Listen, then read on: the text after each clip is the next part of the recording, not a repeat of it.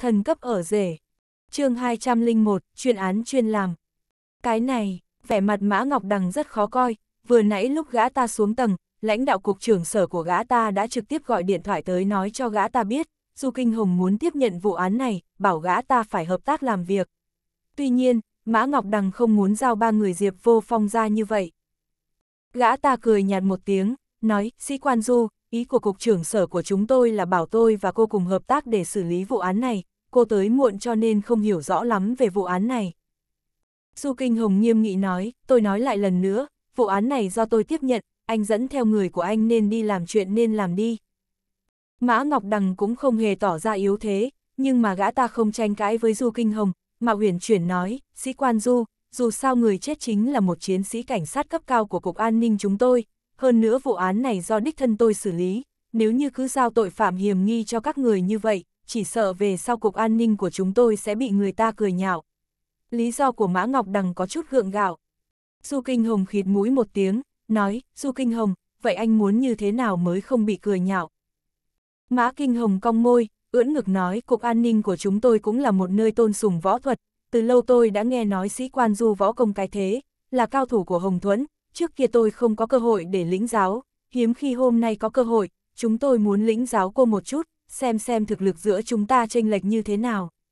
Nếu như cô thắng, cô có thể dẫn người đi, khi chúng tôi trở về cũng sẽ có cái mà nói, nói đem phạm nhân giao cho sĩ quan dù có thực lực mạnh mẽ, như vậy sẽ không đến nỗi bị đồng nghiệp chết nhạo. Ồ, khiêu chiến tôi, ánh mắt du kinh hồng lập tức sáng lên, trong lòng âm thầm cười nhạo, không ngờ trong nước cũng có người dán khiêu chiến cô ta. Cô ta cười nhạt một tiếng, nói, nếu anh Mã đã nói như vậy thì tôi sẽ thành toàn cho anh, có phải là nếu tôi đánh bại anh, tôi có thể dẫn người đi. Anh cũng có thể ăn nói với người của Cục An ninh các người. Ý Mã Ngọc Đằng chính là như vậy, nhưng mà tôi muốn nói trước, chuyện này không phải là do ân oán giữa chúng tôi và các người, mà là mâu thuẫn giữa Cục An ninh của chúng tôi với và Hồng Thuẫn các người. Vừa vặn bên chúng tôi có ba người, bên các người cũng có ba người, chúng ta đấu ba trận phân thắng thua, nếu các người thắng thì tôi sẽ lập tức thả người, đồng thời sẽ không quan tâm đến chuyện của Diệp Vô Phong nữa.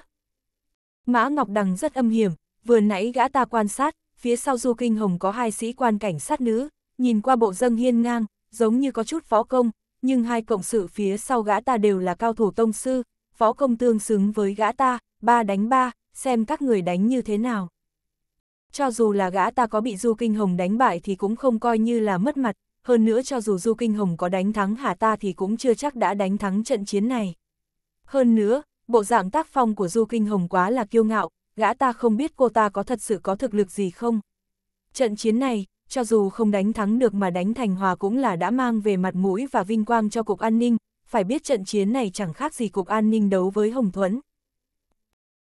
Audio điện tử võ tấn bền Có thể đánh thắng được Hồng Thuẫn, Mã Ngọc Đằng gã ta đã phải ra mặt.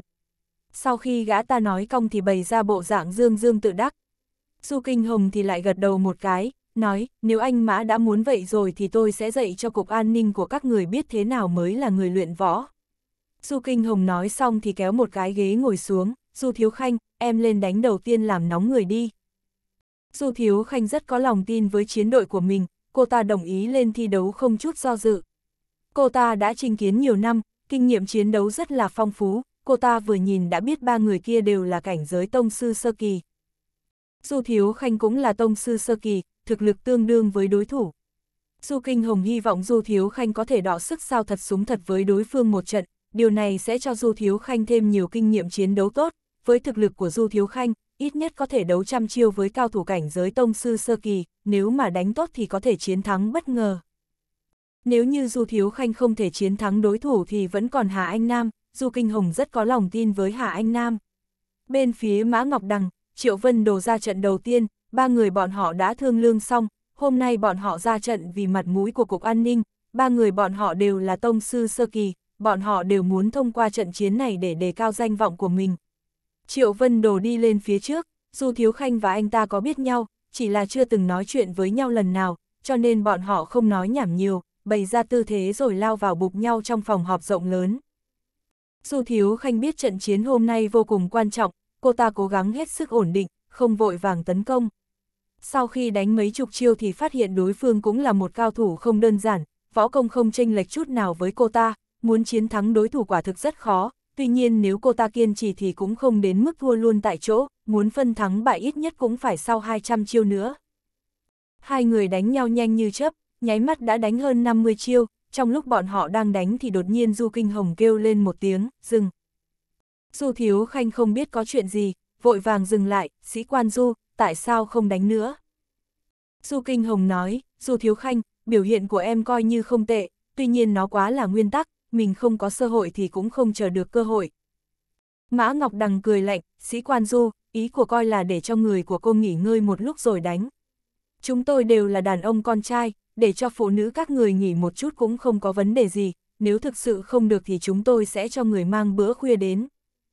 Du Kinh Hồng lạnh lùng nói, không cần, trận này chúng tôi nhận thua. Nhưng mà anh phải hiểu rõ là không phải tài nghệ của chúng tôi không bằng người mà là do tướng quân tôi đây công công việc bộn bề, không có thời gian ở đây cãi có, trận đấu này coi như cục an ninh các người thắng. Kế tiếp, Hạ Anh Nam, gọn gàng dứt điểm, xử lý trong vòng 5 phút cho chị. Mã Ngọc Đằng không ngờ Du Kinh Hồng lại nhận thua, điều này có chút ngoài ý muốn, trận tiếp theo. Vậy thì đánh thôi, Mã Ngọc Đằng thì thầm mấy câu với võ kiếm mạnh, trận này phải nhờ cậu rồi, nhất định phải hết sức ổn định, vừa nãy tôi quan sát, ba cô gái này không đơn giản, có khả ngay từ đầu chúng ta đã khinh địch rồi, tuy nhiên chúng ta đã thắng được một ván, chỉ cần cậu kiên cường, cho dù là đánh hòa thì chúng ta cũng coi như là thắng. Võ kiếm mạnh nói, tôi hiểu rồi, anh Mã cứ yên tâm, một người phụ nữ thì có thể lợi hại được như thế nào. Vừa rồi lúc trưởng phòng triệu đánh nhau, tôi thấy anh ấy thấy đối phương là một cô gái xinh đẹp cho nên đã hạ thủ lưu hình, tuy nhiên, nếu không may tôi đánh đối phương tàn phế, anh Mã nhất định phải giúp tôi đó. Mã Ngọc Đằng cười ha ha nói, cậu cứ yên tâm đi, có tôi ở đây thì sẽ không có việc gì đâu. Phía bên này, Hạ Anh Nam đã bước lên chiến đấu, Du Kinh Hồng không thèm dặn dò một câu, Hạ Anh Nam nhìn võ kiếm mạnh, nói, mời. Võ kiếm mạnh hừ một tiếng, trong lòng anh ta có chút không phục, anh ta không tin cô gái kia có thể giải quyết được anh ta trong 5 phút. Quá là xem thường anh ta rồi, ông đây tệ hơn chơi hiệu Vân Đồ sao? Triệu Vân Đồ đã đấu với ông đây rất nhiều lần nhưng chưa lần nào anh ta thắng được ông đây đâu, cùng lắm chỉ là vóc người anh ta lớn hơn ông đây một chút, đầu lớn hơn ông đây một chút, nắm đấm cũng lớn hơn ông đây mọi chút, tuy nhiên cũng không thể xem thường người khác như vậy chứ.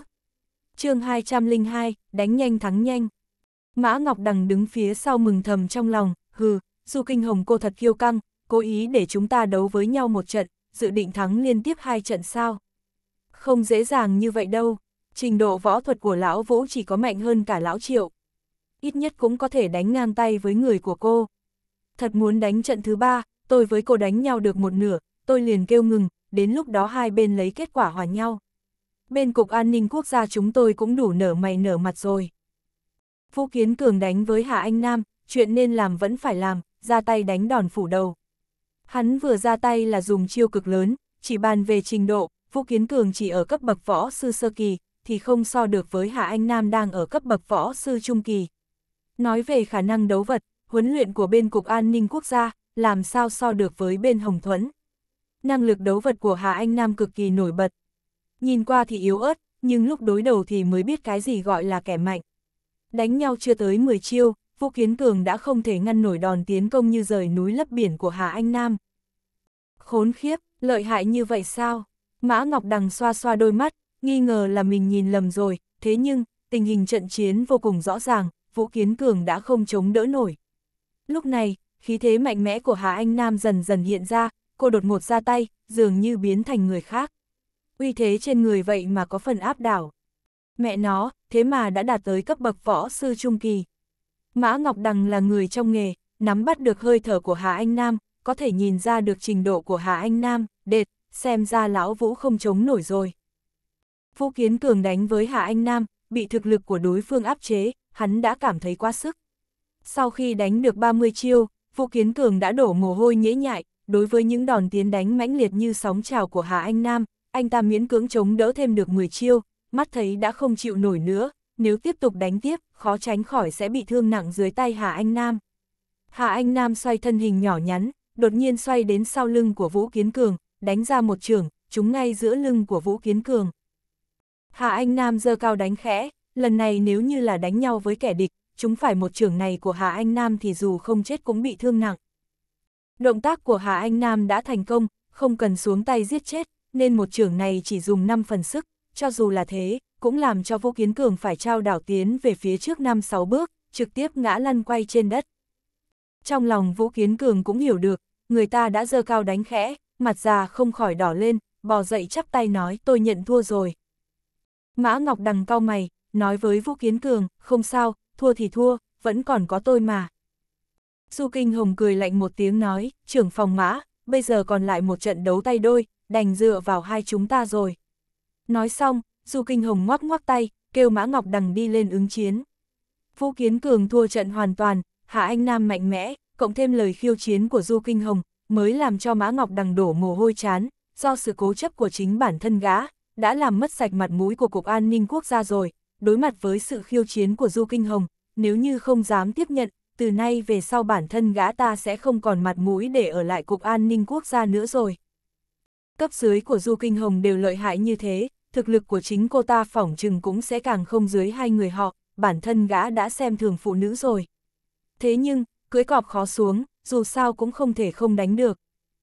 Đoán chắc rằng sẽ không đánh lại, cũng không thể quá mất mặt, đôi mắt của Mã Ngọc đằng đảo quanh, đã có biện pháp, tên này cười ha ha nói, sĩ quan du, ban nãy không phải là cô nói, cô bận rộn quân sự sao, tôi cũng hiểu được rõ ràng. Vì để đảm bảo thời gian của sĩ quan không bị lãng phí, hai chúng đừng đánh đến không thắng không thôi. Như vậy đi, hai chúng ta chỉ đánh với nhau 20 chiêu. Phân rõ thắng thua trong 20 chiêu này, nếu như không thể phân chia thắng thua, thì xem như là cô thắng, như thế nào.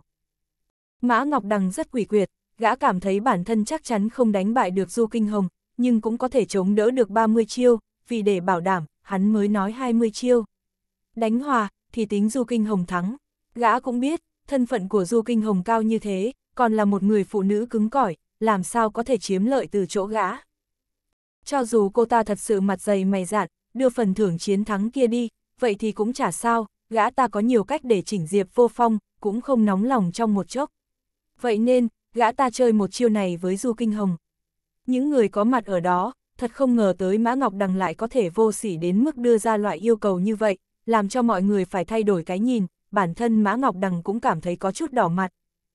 Ngay cả Vũ Kiến Cường vừa thua trận ban nãy, trong lòng cũng cảm thấy tức không chịu nổi, Mã Ngọc đăng ông nói những lời này, không ngại mất mặt sao. Tuy rằng danh tiếng của Du Kinh Hồng rất lớn, nhưng tốt xấu gì thì cũng là phụ nữ, danh tiếng của ông không bằng cô ấy, địa vị cũng không bằng cô ấy, nhưng tốt xấu cũng là thằng đàn ông đứng đi tiểu, lại có thể mặt dày vô sỉ cầu người ta không đánh bại ông trong vòng 20 chiêu. Tính cách của Hà Anh Nam nóng nảy, cô tức giận xông đến Mã Ngọc Đằng ra vẻ muốn mắng người, thứ người gì không biết. Tên vô lại này cũng quá không biết xấu hổ rồi, uổng cho ông còn là trưởng phòng của Cục An ninh Quốc gia. Nhưng, càng khiến mọi người không ngờ đến là Du Kinh Hồng lại cười lạnh đáp, Mã Ngọc Đằng, ông cũng đánh giá bản thân ông quá cao rồi, đối phó với loại người rác rưởi như ông, không cần đến 20 chiêu, ba chiêu thôi là đủ rồi.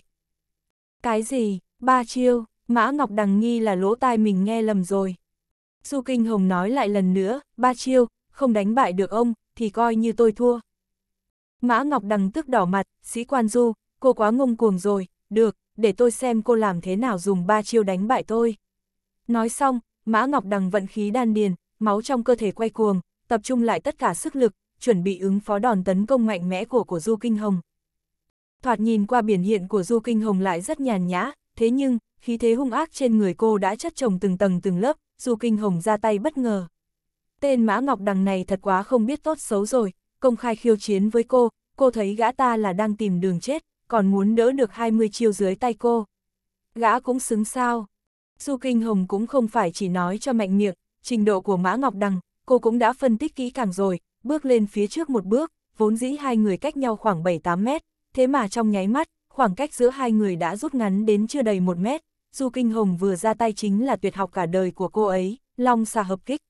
Mã Ngọc Đằng ra sức chống đỡ, hai người bốn tay giao nhau, liền nghe một tiếng oành, Mã Ngọc Đằng chỉ cảm thấy gân cốt cả người, mỗi một khớp xương, dây chằng, cơ bắp quan trọng trong cơ thể đều như bị bom oanh tạc một lần, máu trong từng mạch máu cũng dường như đã chịu phải chấn động cực lớn, tim đập nhanh hơn, máu nóng quay cuồng, các cơ quan trong cơ thể như muốn nhảy ra ngoài, thân thể cũng đằng đằng lui về sau ba bốn bước. Lập tức nâng chân khí trong người lên trên, mẹ nó, sao con mụ này lại mạnh như vậy? Chỉ một đòn liền đánh cho mình sắp thở không nổi, ông đây vẫn nên cẩn thận một chút, nếu không thì hôm nay lỗ to rồi. Mã Ngọc Đằng vừa mới ổn định lại được hơi thở, đòn thứ hai của Du Kinh Hồng lại đến nữa rồi, Long xà hợp kích tổng cộng có tới 18 đòn, lực công kích của mỗi một đòn có sức hủy diệt cực mạnh. Lại thêm một đòn như sóng biển sôi trào đánh về phía Mã Ngọc Đằng. Mã Ngọc Đằng lập tức dùng chân khí vừa nâng lên ban nãy, giơ hai tay nắm tay cứng rắn đón lấy đòn công kích của đối phương, cho dù đã chặn lại một đòn này của Du Kinh Hồng, nhưng gã ta vẫn lùi về sau mấy bước, cơ thể đã dựa lên vách tường của phòng họp lớn. Không chờ Mã Ngọc Đằng ngưng tụ chân khí một lần nữa, Du Kinh Hồng vồ đánh đến trước mặt, với tốc độ này, rất mẹ CMN đòi mạng, muốn phòng thủ không còn cách nào để phòng. Chân khí trong cơ thể không ngưng tụ lại được, Mã Ngọc Đằng chỉ có thể dùng một nửa phần chân khí còn dư lại ban nãy, miễn cưỡng phòng thủ. chương 203, không tới ba chiêu. Lần này Du Kinh Hồng chỉ dùng một bàn tay, một trường đẩy về phía trước, Mã Ngọc Đằng chống đỡ bằng cả hai nắm tay, thế nhưng dùng cả hai nắm tay cũng không ngăn cản nổi một bàn tay, một trường này của Du Kinh Hồng đẩy hai tay của Mã Ngọc Đằng ra đánh vào bả vai gã. Cho dù là không đánh vào bộ phận quan trọng, thế nhưng lực đánh của một trường này quá kinh người, Mã Ngọc Đằng chỉ cảm thấy cả người chấn động, tim cũng sắp bị rung rớt ra rồi, gã miễn cưỡng chống được một hơi, không để cho tim của mình nhảy ra ngoài. Có điều, không nhịn được mà phun một ngụm máu nóng đỏ cả miệng ra ngoài. Mã Ngọc Đằng không muốn bỏ qua chuyện này, lại nói một trưởng này của Du Kinh Hồng, đã làm chấn thương các cơ quan nội tạng của Mã Ngọc Đằng. Gã cảm thấy hai chân mềm nhũn, trượt dần xuống, nếu như không phải có vách tường để dựa vào, nhất định sẽ ngã chồng vó. Du Kinh Hồng không tấn công tiếp nữa, mà chỉ cười lạnh nói, trưởng phòng mã, ông không cần phải nhường tôi, nếu như mà không phục, chúng ta bắt đầu lại lần nữa. Mã Ngọc Đằng thầm mắng trong lòng, còn mụ thối tha, ông đây đều bị cô đánh cho ọc máu rồi, còn có thể đánh một trận nữa sao? Triệu Vân Đồ và Vũ Kiến Cường cũng chạy tới, trưởng phòng mã, anh không sao chứ? Mã Ngọc Đằng lau đi máu tươi bên khóe miệng, nói còn chưa chết được. Ôi mẹ ơi, con đàn bà này ra tay ác thật. Triệu Vân Đồ nhỏ giọng nói, trưởng phòng mã, thôi đi, một tên diệp vô phong thôi, không đáng để cho chúng ta phải đắc tội với Du Kinh Hồng, lại nói, quân tử trả thù 10 năm chưa muộn. Mã Ngọc Đằng gật gật đầu, đứng thẳng người dậy, nói với Du Kinh Hồng, sĩ quan Du quả nhiên lợi hại, một chiêu này của cô, nước chảy mây trôi, lưu loát liền mạch. Ha ha, mấy ngày nay tôi bị cảm, cơ thể không được khỏe, không phải là đối thủ của cô. Tôi nhận thua rồi. Du Kinh Hồng nói, nếu đã nhận thua, vậy thì giao người ra đây cho tôi đi. Mã Ngọc Đằng không muốn bỏ qua chuyện này, lại nói, dù sao cũng chết mất một sĩ quan cảnh sát của Cục An ninh Quốc gia. Bây giờ, người nhà của người mất đang gấp rút chạy đến tỉnh lẻ.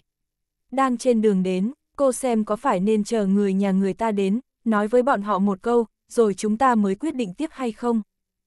Du Kinh Hồng nói, giải thích như thế nào, đó là chuyện của ông. Vẻ mặt Mã Ngọc Đằng hết xanh lại trắng, thực sự là không dễ nhìn, gã ra sức đánh vòng với Du Kinh Hồng, chính là không chịu lập tức thả người, đúng tại lúc này, lại có một nhân vật lớn đến. Theo từng tiếng bước chân, có vài người đi từ bên ngoài vào, người đi đầu chính là trưởng phòng Dương của Bộ An ninh Quốc gia. Trưởng phòng Dương, Giám đốc Hàn và Mã Ngọc Đằng vội đến chào hỏi. Trưởng phòng Dương chào hỏi với hai người xong, liền đến chào hỏi với Du Kinh Hồng, ha ha, sĩ quan Du, biết cô đến đây, tôi xử lý cho xong hết việc trong tay liền lập tức chạy đến đây. Không ngờ là vẫn đến muộn rồi, sao thế, mấy tên cấp dưới của tôi lại chọc giận cô sao? Trông cô không được vui đó. Du Kinh Hồng lạnh mặt đáp, lính cấp dưới của trưởng phòng Dương thật là có cá tính, có tính cách. Không muốn hợp tác với tôi đâu nha. Trưởng phòng Dương sụ mặt, hỏi Mã Ngọc Đằng, không phải tôi đã có nói rồi sao, bảo các cậu giao người cho sĩ quan Du xử lý, chuyện lần này, nếu như Hồng Thuẫn đã tiếp nhận, thì không còn chuyện gì liên quan đến Bộ An ninh Quốc gia của chúng ta nữa. Như thế nào, cậu không nghe theo sao? Mã Ngọc Đằng cười theo nói, trưởng phòng Dương, lệnh của ngài tôi sao dám không nghe theo được chứ? Tôi đã giao người rồi. Có điều, trưởng phòng chu của Cục An ninh Quốc gia thành phố Tam Giang chết quá oan uổng rồi. Vợ của ông ấy nghe tin chồng bị giết hại, đã chạy vội từ dưới quê lên đây, tôi cảm thấy cần phải. Vẻ mặt trưởng phòng Dương đen lại, cần phải cái gì? Mấy chuyện này có liên quan gì tới sĩ quan Du? Cứ giao người cho sĩ quan Du trước đi. Về phần gia đình của người mất thì cậu ứng phó là được, đối phương có đưa ra đeo kiện gì, thì cứ đồng ý rồi nói sau. Nếu thực sự không quyết định được, thì cậu cứ xin chỉ thị của tôi. Nếu trưởng phòng Dương đã đưa ra chỉ thị, Mã Ngọc Đằng không dám không theo, chỉ đành thả Diệp Vô Phong, Lâm Thu Âm và Bạch Tinh Đồng. Ba người đi ra khỏi phòng giam giữ, Diệp Vô Phong nhìn thấy lần này vậy mà lại là nhờ Du Kinh Hồng tự mình ra mặt xoay chuyển tình thế, không khỏi cười khổ một tiếng, sĩ quan Du, cảm ơn nhiều. Du Kinh Hồng nhàn nhạt bảo, Diệp Vô Phong, ván cờ này, cậu chịu thua chưa? Diệp Vô Phong gật gật đầu đáp, tôi nhận thua. Du Kinh Hồng khẽ cười, nói, ba người các cậu, đi theo tôi nào. Thế là, Du Kinh Hồng mang ba người rời khỏi, trưởng phòng Dương lại dặn dò một phen, rồi cũng tự mình rời đi. Phạm nhân đi rồi, Mã Ngọc Đằng giận tới nghiến răng nghiến lợi, hai trưởng phòng khác cùng đành nén cơn giận, lúc này, điện thoại của Mã Ngọc Đằng vang lên, trưởng phòng Mã, tôi là Phạm Ngọc Mai, tôi đã đến tỉnh lẻ rồi, tôi phải đến đâu tìm ông. Phạm Ngọc Mai là vợ của Chu Hồng Quý, Phó trưởng phòng ban hành động Cục An ninh Quốc gia thành phố Tam Giang, nghe nói chồng xảy ra chuyện ở tỉnh lẻ, Phạm Ngọc Mai lập tức xin nghỉ phép ở đơn vị, sau đó lập tức vội vội vàng vàng lái xe chạy đến tỉnh lẻ. Bởi vì trước đây Mã Ngọc Đằng và Chu Hồng Quý rất thân, lúc Mã Ngọc Đằng đi công tác ở trên thành phố, còn từng ở trong nhà của Chu Hồng Quý, thế nên cũng rất thân với Phạm Ngọc Mai. Trên đường Phạm Ngọc Mai liền dò hỏi chồng mình cuối cùng đã xảy ra chuyện gì. Mã Ngọc Đằng nói với cô rằng, Thiên Mai, Chu Hồng Quý vì việc công đánh nhau với người khác, bị đánh bị thương. Cô đến tỉnh lẻ, tôi sẽ nói cho cô biết tình hình cụ thể. Cứ như thế, lòng Phạm Ngọc Mai nóng như lửa đốt mà chạy đến tỉnh lẻ, sau đó dựa theo chỉ dẫn của Mã Ngọc Đằng, đi tới khu thẩm vấn của Cục An ninh Quốc gia. Mã Ngọc Đằng tự mình đón tiếp cô, cô đã đến rồi. Phạm Ngọc Mai sốt ruột hỏi, trưởng phòng Mã, chồng tôi cuối cùng thế nào rồi? Anh nói anh ấy bị thương, đúng ra phải ở trong bệnh viện chứ. Sao anh lại không để tôi đến bệnh viện? Mã Ngọc Đằng nói, đến bệnh viện, cũng không còn kịp nữa rồi. Tôi vẫn là nên đưa cô đến gặp anh ấy thôi. Đến bệnh viện cũng không còn kịp nữa. Trong lòng Phạm Ngọc Mai lập tức có một điểm dự cảm không lành, khi cô nhìn thấy thi thể của Chu Hồng Quý, không nhịn được khóc đến mất tiếng. Phạm Ngọc Mai vừa khóc vừa hỏi, trưởng phòng mã, đây là chuyện gì thế này? Chồng tôi bị ai đánh chết? Mã Ngọc Đằng nói, chỗ chúng tôi có camera quan sát, để tôi đưa cô đi xem camera đi. Sau đó, Mã Ngọc Đằng liền dẫn Phạm Ngọc Mai đi xem camera quan sát, trên camera quan sát quay lại tình hình lúc Bạch Tinh Đồng và Chu Hồng Quý xảy ra xung đột, hai người ra tay đánh nhau, Bạch Tinh Đồng dùng một trưởng đánh cho Chu Hồng Quý ngã dạp xuống đất, cũng không nhìn thấy Chu Hồng Quý ngồi dậy. Cô, cô ta là ai? Phạm Ngọc Mai nghiến răng nghiến lợi hỏi. Mã Ngọc Đằng nói, Bạch Tinh Đồng, đội trưởng đội hình sự sở cảnh sát thành phố Tam Giang của các cô. Cô ta thật quá đáng giận, thân là cảnh sát cấp cao, sao lại ra tay giết chết cảnh sát cục an ninh quốc gia. Chồng tôi với cô ta cuối cùng là đã có thù hận thế nào? Phạm Ngọc Mai hỏi. Mã Ngọc Đằng đáp, khẳng định là có thù, nếu không thì không thể nào ra tay nặng đến vậy. Có điều lần tranh cãi này, đều bắt nguồn từ một người tên là Diệp Vô Phong.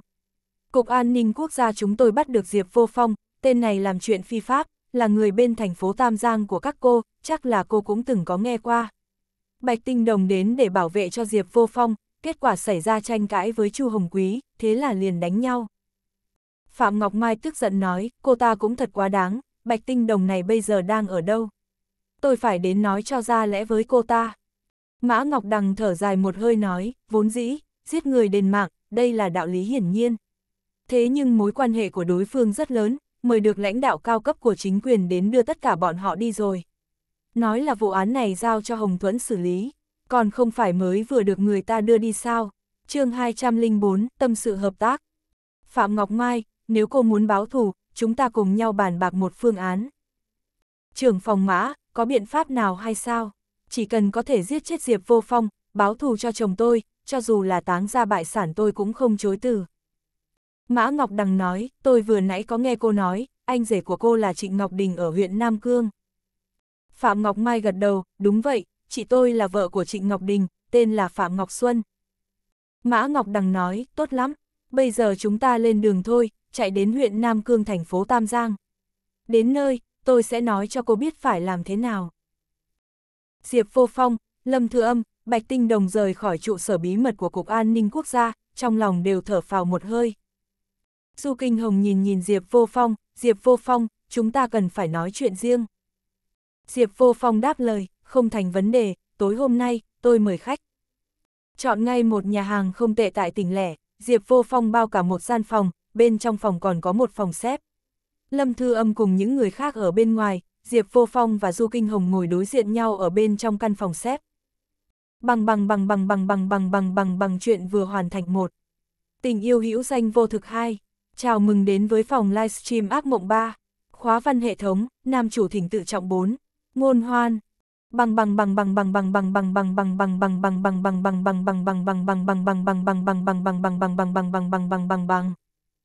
Diệp Vô Phong mở lời trước, lần này, được sĩ quan du ra tay giúp đỡ, tôi mới thoát được xui rủi lần này.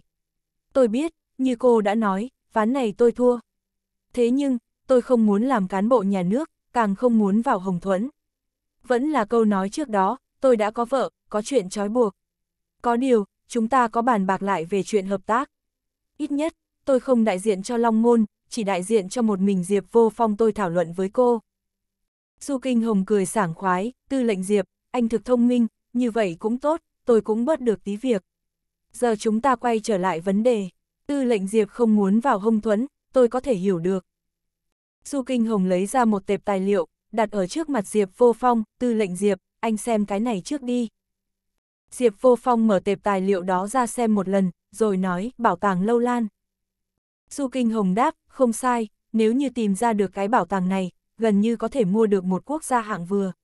Nhất là, bên trong bảo tàng này, còn có một món bảo vật không thể dùng tiền bạc để định giá. Đó chính là xá lợi Phật có thể chữa được trăm loại bệnh trong truyền thuyết. Diệp Vô Phong hỏi, món đồ này, có liên quan gì tới tôi? Du Kinh Hồng nói tiếp, nếu muốn mở được bảo tàng này, phải có được bản đồ bắt quái. Không có bản đồ, cho dù tìm ra được vị trí chính xác của bảo tàng thì có là thần tiên cũng đừng mơ có thể mở nó ra được. Mà tấm bản đồ này, mà tấm bản đồ này vào 10 năm trước bị chia thành 8 phần, được 8 người chia nhau cất giữ. Chuyện bây giờ tôi cần anh làm là một lần nữa tập hợp bản đồ bát quái này lại. Diệp Vô Phong hỏi, 8 người này nhất định là rất khó đối phó phải không? Du Kinh Hồng gật đầu nói, bản đồ bát quái năm đó đã được vẽ lại phía sau của 8 bức tranh quý, tập hợp 8 bức tranh quý đó lại, mới có được bản đồ bảo tàng hoàn chỉnh. Bây giờ, tôi nói cho cậu biết về tin tức của 8 bức tranh quý. Nhất lộ liên thăng, Lưu Hải Thanh, Càn Tam Liên làm trời hoa hải. Tường Long Hiến Thụy, Bộ Vân Tử, Khôn Tam Đoạn làm đất Trường An. Mã Đáo thành công, Thôi An Hỷ, Trấn Ngưỡng Vu làm xét Phụng Thiên. Vạn Sơn Hồng Biến, Lý Mậu Sâm, Tốn Hạ Đoạn làm gió Xuân Thành. Mãn Tải Nhi Quy, Khổng Bồi Minh, Khảm Trung Mãn làm nước. Tùng Hạc Duyên Niên, Bành Thuật Siêu, Cấn Phúc Huyền làm núi. Phú Thủy Trường Lưu, Lưu Tri Quân, Ly Trung Hư làm lửa. Ngạo Tuyết Hồng Mai, Tôn Hoa Anh, Đoái Thượng Khuyết làm sông. Lấy cản ba gạch làm trời, khôn ba nét đứt làm đất, xem chấn như chậu ngửa là xét, tốn ngang dưới đứt là gió, khảm đầy ở giữa là nước, coi cấn như bát úp là núi, ly trống ở giữa là lửa, đoái trên lõm vào là sông, lấy tình của muôn vật. Bát quái chia thành tám hướng, chính giữa là hình thái cực. Sau khi Diệp Vô Phong xem xong, cười nhạt, sĩ quan du, bảo tôi giúp cô siêu tập bản đồ bảo tàng, còn phải cùng lúc đối phó với bốn nhà giàu có nhất trong nước. Kế một mũi tên chúng nhiều con chim này của cô thật tuyệt nha. Du Kinh Hồng khen ngợi, tư lệnh Diệp quả nhiên có mắt nhìn đời, không sai, bốn bức tranh đầu tiên đã nằm trong tay bốn người đứng đầu của bốn nhà giàu có nhất đất nước Hoa Hạ. Nếu như chính phủ bỏ tiền ra mua, bọn họ nhất định sẽ không bán. Chúng ta cũng không thể ép người ta đưa ra, ngoài ra, những nhà giàu này đều có tình nghi dính dáng tới thế giới ngầm, anh giúp tôi chèn ép bọn họ, lấy bản đồ bảo tàng về. Diệp Vô Phong hỏi, vậy thì tôi được ích lợi gì? Du Kinh Hồng đáp, tư lệnh Diệp, anh là người thông minh, còn cần tôi chỉ sao? Những gì anh nghe thấy, tất nhiên là được cả danh và lợi, khi không còn bốn nhà giàu này, trong thế giới màu xám của đất nước hoa hạ này không phải là chỉ còn mỗi mình tư lệnh Diệp Anh làm chủ sao. Việc làm ăn của nhà họ Lâm sẽ càng trải rộng toàn quốc, muốn kiếm bao nhiêu tiền, thì kiếm được bấy nhiêu tiền. Diệp Vô Phong cười hỏi, nước hoa hạ có một câu nói xưa, không còn chim bay thì đem cung đi cất, thỏ chết hết rồi thì giết chó săn. Sĩ quan du, sau khi mọi việc thành công, tôi sẽ không rơi vào kết cục như thế chứ. Du Kinh Hồng cười ha ha, sẽ không, tại sao lại không, bởi vì ngay cả với một gia sản to lớn như Long Môn mà tư lệnh Diệp còn có thể nỡ lòng vứt bỏ, là một người không yêu tiền, lại là một người cần cù tận tụy vì quốc gia, thì sao có thể gặp phải chuyện bị quốc gia chèn ép chứ? Diệp Vô Phong gật gật đầu, sĩ quan du, vậy thì từ hôm nay chúng ta bắt đầu hợp tác, tôi giúp cô tìm bản đồ bát quái của bảo tàng. Du Kinh Hồng hiểu ý nói, tôi có thể âm thầm giúp anh quét sạch tất cả vật cản. Sau khi ăn xong, Du Kinh Hồng tạm biệt, lên máy bay rời đi. Diệp Vô Phong, Lâm Thư Âm, Bạch Tinh Đồng cũng trở về thành phố Tam Giang.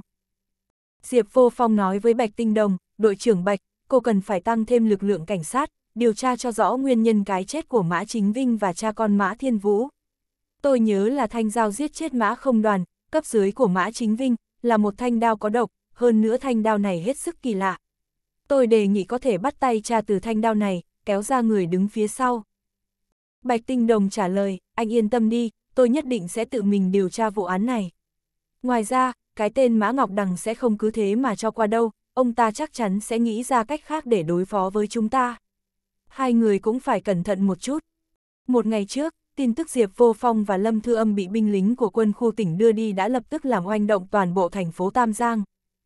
Đương nhiên là có người vui có người buồn, Lâm Kiến Ba dường như là lần nữa thấy được ánh bình minh.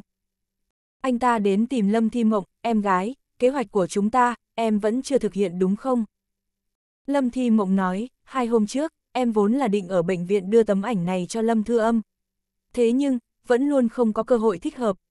Lâm Kiến Ba nói, vậy thì trước mắt khoan làm theo kế hoạch đó. Em không có thấy à, Diệp Vô Phong bị người của quân khu tỉnh đưa đi. Lần này anh ta nhất định sẽ không được chết tử tế. Còn có Lâm Thư Âm thân là người đại diện pháp lý của khách sạn lớn Hoàng Triều cũng sẽ bị liên lụy. Ai bảo Mã Thiên Vũ chết trong khách sạn của cô ta chứ?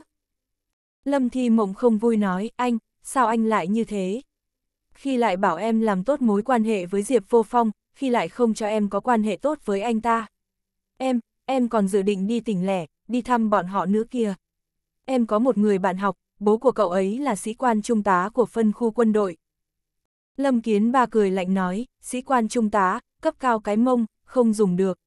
Em gái, em vứt bỏ suy nghĩ với Diệp Vô Phong đi. Lần này chắc chắn anh ta sẽ không ra được.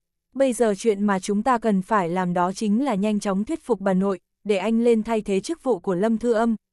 chương 205, hẹn đến huyện Nam Cương. Hai anh em Lâm Kiến Ba và Lâm Thi Mộng vui vẻ đi đến nhà chính Lâm gia, bà cụ hôm nay đang ở trong phòng sách niệm kinh Phật, trong tay cầm Phật Châu, miệng thì lặp đi lặp lại những lời cầu xin Bồ Tát phù hộ. Lâm Kiến Ba đoán, bà già này, chắn chắn là đang cầu Phật tổ phù hộ cho Lâm Thư Âm. Bà nội, con có việc đến tìm bà. Bà cụ mở mắt, Kiến Ba đấy à, con có chuyện gì thế? Lâm Kiến Ba nói, bà nội, sáng ngày hôm qua, có nhóm binh lính đột nhiên kéo đến khách sạn lớn Hoàng Triều, bắt Diệp Vô Phong và Lâm Thư Âm đi mất rồi. Bà có biết chuyện này chưa? Bà cụ gật gật đầu, bà đương nhiên biết chuyện này. Bà có nghe tả Tiểu Thanh nói, bọn nó chỉ là đến phối hợp với lực lượng cảnh sát điều tra vụ án về cái chết của bố con nhà họ Mã thôi.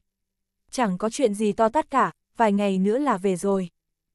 Lâm Kiến ba cười một cái, bà nội, bố con nhà họ Mã kia là người thế nào chứ?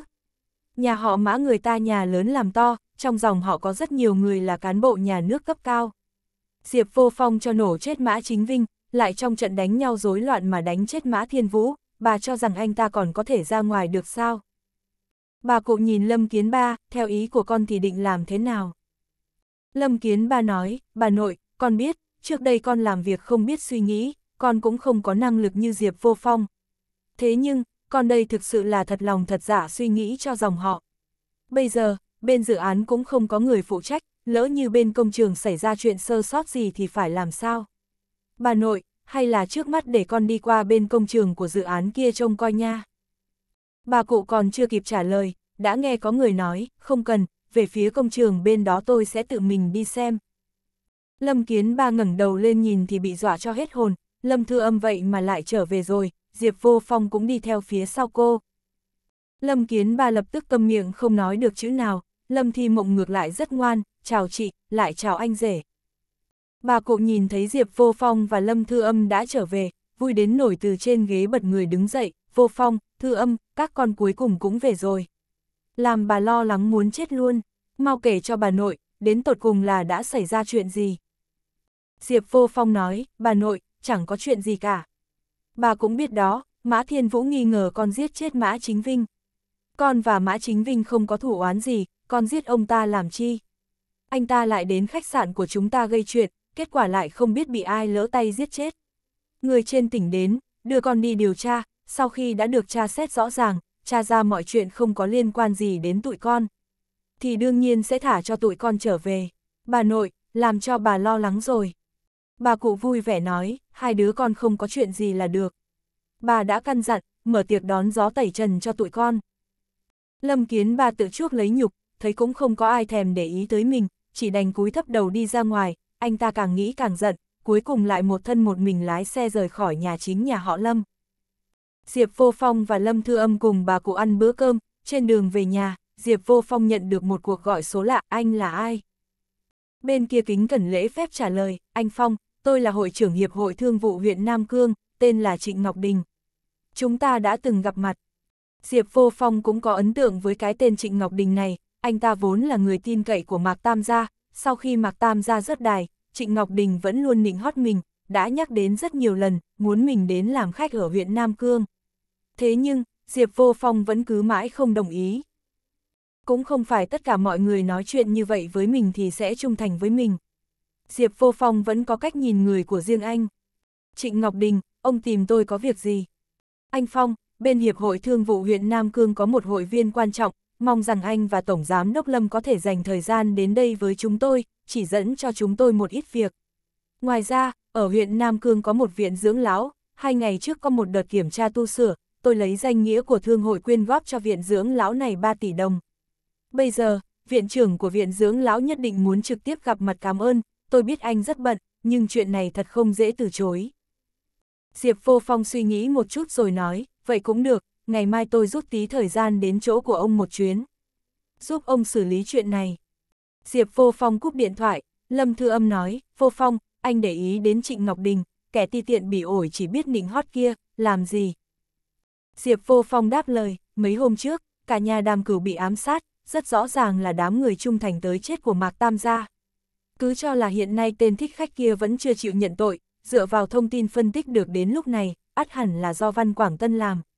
Bên cạnh Mạc Tam gia hiện giờ chỉ còn dư lại vài người còn dùng được.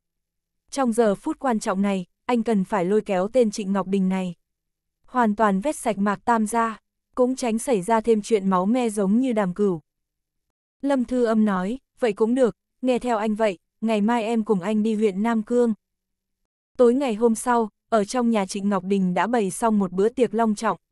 Ông ta và vợ tự đi ra chào đón, đón tiếp Diệp Vô Phong và Lâm Thư Âm đi vào bên trong biệt thự xa hoa của mình. Dĩ nhiên là Phạm Ngọc Mai và Mã Ngọc Đằng đều không có xuất hiện chấm SAI người ở trong một căn phòng bí mật trên lầu 1. Cùng ở bên trong căn phòng đó, còn có cả đám cấp dưới đáng tin cậy mà Mã Ngọc Đằng dẫn theo, đây đều là những người trung thành đến chết với nhà họ Mạc. Mã Ngọc Đằng bắt đầu âm thầm sắp xếp nhiệm vụ cho bọn họ. Trịnh Ngọc Đình nhiệt tình mời Diệp Vô Phong đi lên phòng ăn ở lầu 3, ha ha, anh Phong, tất cả đã chuẩn bị xong, chỉ còn chờ anh thôi đó. Diệp Vô Phong nhìn vào bên trong phòng ăn, ngoại trừ vợ chồng của Trịnh Ngọc Đình, còn có 6-7 nam nữ ăn mặc quần áo gọn gàng, từ lời giới thiệu của Trịnh Ngọc Đình, họ đều là những tên tuổi đứng đầu trong giới thương nghiệp ở huyện Nam Cương. Từng người một chào hỏi với Diệp Vô Phong và Lâm Thư Âm, sau đó ngồi lại vào vị trí có sẵn, bắt đầu dùng bữa. Lúc dùng cơm, còn có cô gái tấu nhạc biểu diễn một khúc nhạc nhẹ, Diệp Vô Phong nói, Trịnh Ngọc Đình, trong nhà ông thế mà lại có thể tạo ra một phòng ăn theo kiểu Tây khí thế, xa hoa, đẳng cấp như vậy, thật là khâm phục. Trịnh Ngọc Đình xua xua tay nói, nào có, chỉ đơn giản là chút sở thích nhỏ của riêng tôi thôi, anh Phong, để cho anh chê cười rồi. Buổi tiệc cũng trôi qua khá khá rồi, Trịnh Ngọc Đình nói, không bằng mọi người thả lỏng một lát, nhảy một bài đi. Tổng Giám Đốc Lâm, không biết tôi có đủ mặt mũi mời cô nhảy một đoạn hay không? Lâm Thư Âm không từ chối, cúng ra nhảy với Trịnh Ngọc Đình. Phạm Ngọc Xuân lại mời Diệp Vô Phong, Diệp Vô Phong cười bảo, tôi không biết nhảy, sợ là sẽ đạp hư chân của bà mất. Phạm Ngọc Xuân dịu dàng cười, anh Phong, coi anh nói kìa, tôi không tin anh không biết nhảy đâu.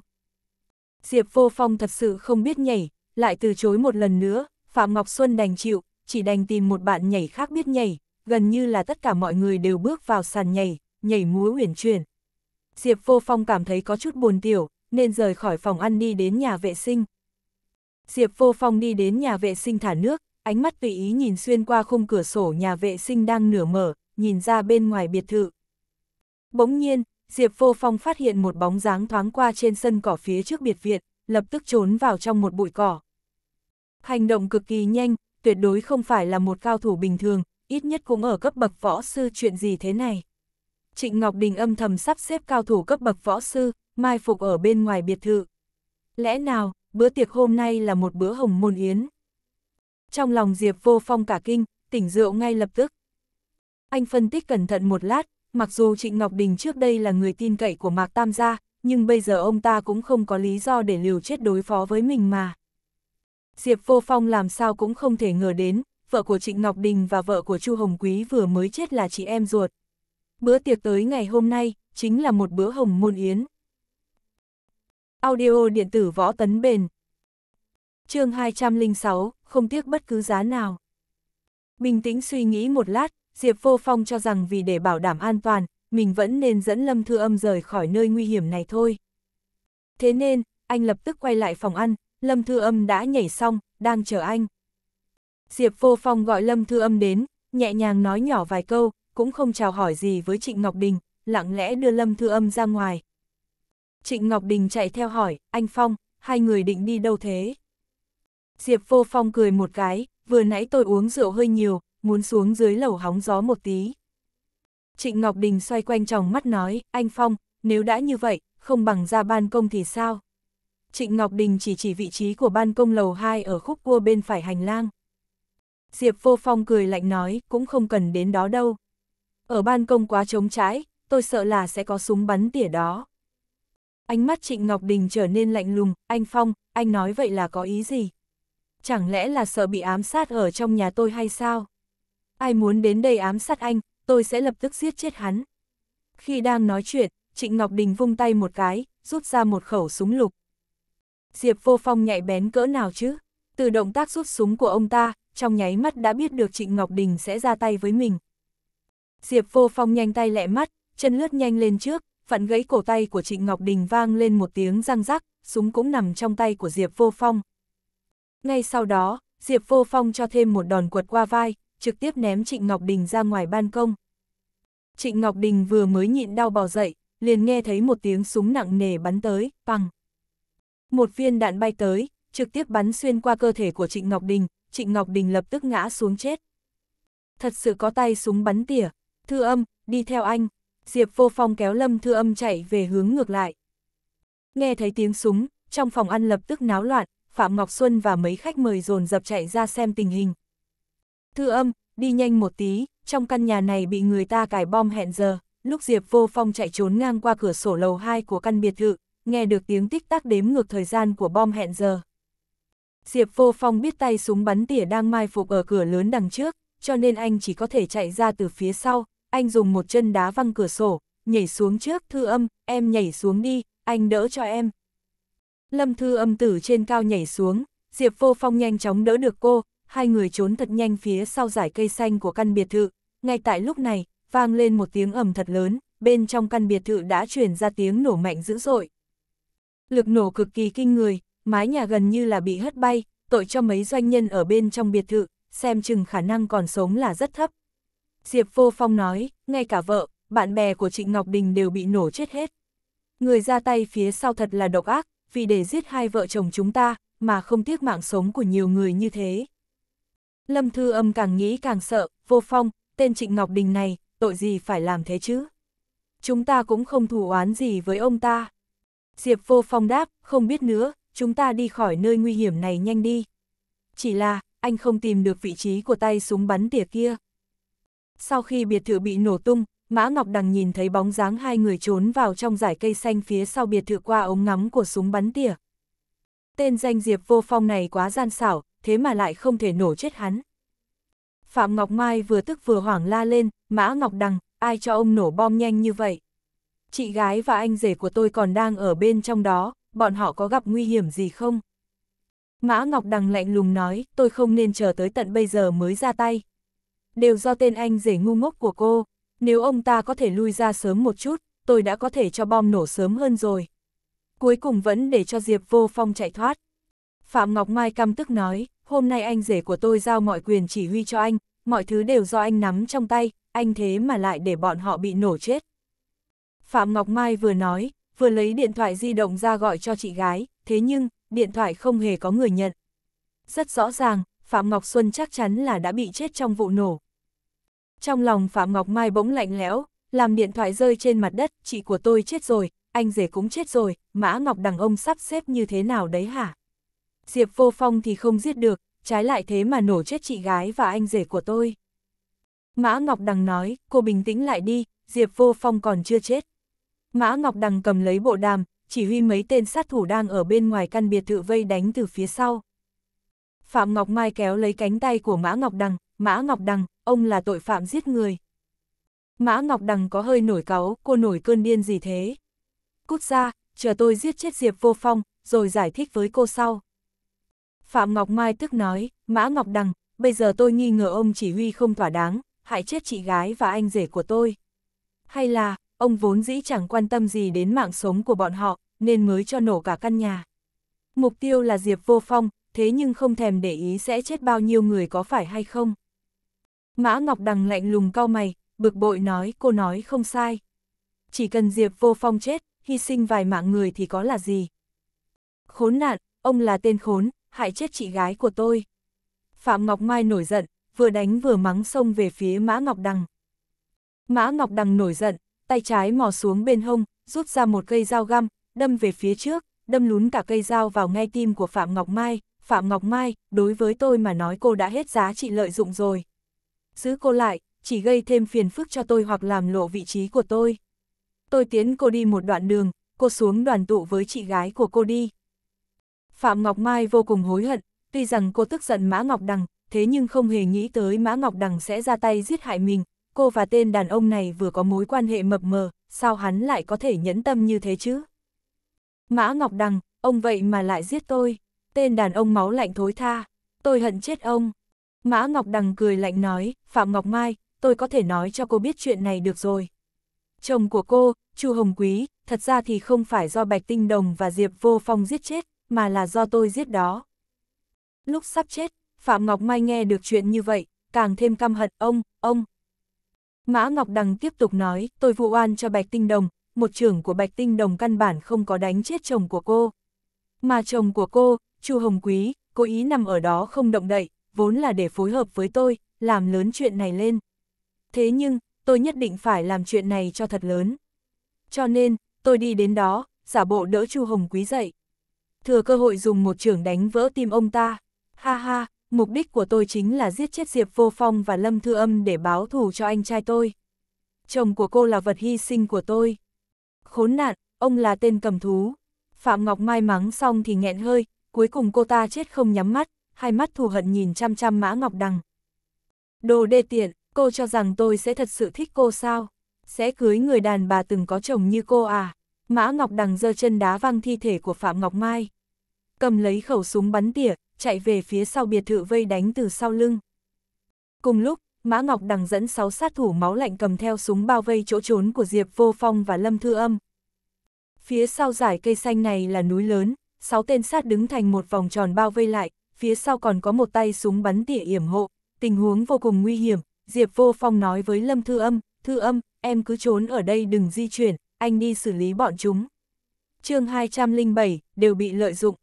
Đối với Diệp Vô Phong chút uy hiếp khi bị 6 khẩu súng ngắn bao vây không đáng là gì. Thế nhưng, anh cần phải cảnh giác với tay súng bắn tỉa đang núp trong bóng tối, tuy bản thân anh là cao thủ cấp thần, nhưng nếu bị đạn bắn trúng, cơ thể anh lại không chịu được, thì cũng chỉ có một con đường chết. Lúc này, sáu người kia đang đến càng ngày càng gần, bỗng nhiên từ phía sau giải cây xanh Diệp Vô Phong dùng một chiêu hổ nhảy qua suối sông ra.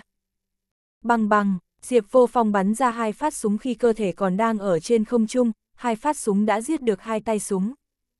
Những người khác cùng nhau bắn về phía Diệp Vô Phong, Diệp Vô Phong lăn người tránh, né khỏi đường đạn của đối phương.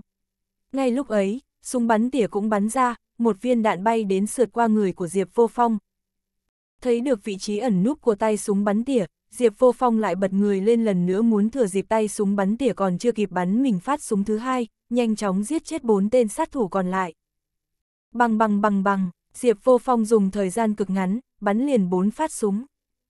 Bốn viên đạn lấy đi mạng sống của bốn người, chỉ là tên sát thủ cuối cùng, ỉ vào trình độ võ thuật không tệ, liều mạng né tránh, mới tránh được một phát súng của Diệp Vô Phong. Đồng thời, tên sát thủ này con người lại, núp phía sau một tảng đá trang trí. Diệp Vô Phong cũng không dám đuổi theo giặc cùng đường, cơ thể cũng núp phía sau hòn non bộ, thoát khỏi tầm ngắm của đối phương. Một phát súng không bắn trúng Diệp Vô Phong, trái lại còn bị Diệp Vô Phong bắn chết năm đàn em của mình, Mã Ngọc Đằng gần như điên rồi, từ xa chỉ huy tên sát thủ còn lại, xông lên, giết chết nó. Tôi yểm trợ cho cậu. Tên sát thủ không dám lao ra, Mã Ngọc Đằng giận dữ nói, còn không đi ra, tôi giết cậu trước. Tên sát thủ đàn em này không còn cách nào khác, đành nhắm mắt chui ra từ phía sau tảng đá, giơ súng lên tìm kiếm Diệp Vô Phong. Mã Ngọc Đằng ngắm nòng súng bắn tỉa vào ngay hòn non bộ, chỉ cần Diệp Vô Phong ló đầu ra là lập tức bắn chết. Tên sát thủ dưới sự dốc thúc của Mã Ngọc Đằng cầm súng lục đi tìm Diệp Vô Phong, qua khe hở từ phía sau hòn non bộ Diệp Vô Phong nhìn thấy tên sát thủ đi về hướng bên này, anh giơ súng lục nhắm chuẩn đối phương, nhưng lại không bắn ngay lập tức. Diệp Vô Phong tính toán muốn dụ dỗ Mã Ngọc Đằng đến gần thêm một tí, khoảng cách quá xa nên súng trên tay anh không bắn tới vị trí của tên bắn lén đó, đánh như thế cũng quá là bị động. Tên sát thủ này quả nhiên không dám bước tiếp về phía trước nữa, núp vào một mặt khác của hòn non bộ nơi Diệp Vô Phong đang trốn, thở mạnh ồ ồ. Thủ lĩnh, tôi đến đó cũng chỉ là đi chịu chết, kỹ thuật bắn súng của đối phương quá giỏi. Tôi có làm bia đỡ đạn cũng không hề gì, nhưng mà quan trọng là chẳng có ý nghĩa gì cả. Không tới vài phút nữa, cảnh sát sẽ bao vây nơi này. Anh sẽ không có cách nào giết được Diệp Vô Phong. Tôi đề nghị chúng ta cùng nhau đánh từ hai bên trái phải được không? Mã Ngọc Đằng suy nghĩ một lát cho rằng những gì tên sát thủ này nói cũng có đạo lý. Bây giờ, Diệp Vô Phong trốn ở phía sau hòn non bộ mãi không chịu ra, mình cũng không làm gì được anh ta. Trần trừ thêm nữa hoàn toàn không phải là phương pháp giải quyết vấn đề. Mình phải đánh nhanh thắng nhanh, không thể tiếp tục kéo dài thời gian thêm nữa. Ngay lập tức, Mã Ngọc Đằng nâng súng ngắm bắn tầm xa đi ra từ trong chỗ tối. Khi ông ta cho rằng trong tay Diệp Vô Phong chỉ có một khẩu súng lục, mà cự ly nhắm bắn của súng lục cũng chỉ nằm trong khoảng chừng 7-80 mét. Bản thân ông ta chỉ cần bảo trì khoảng cách 100 mét với anh, sau đó vòng sang một phía khác của hòn non bộ, rồi nổ súng thì tất nhiên sẽ bắn chết anh. Thấy Mã Ngọc Đằng cầm súng ngắm bắn tầm xa vòng quanh mãi ở cự ly ngoài 100 mét, Diệp Vô Phong cười lạnh một cái, tên kia, hôm nay sẽ là ngày chết của ông. Tôi thật muốn biết, cuối cùng là ai tính kế sau lưng tôi.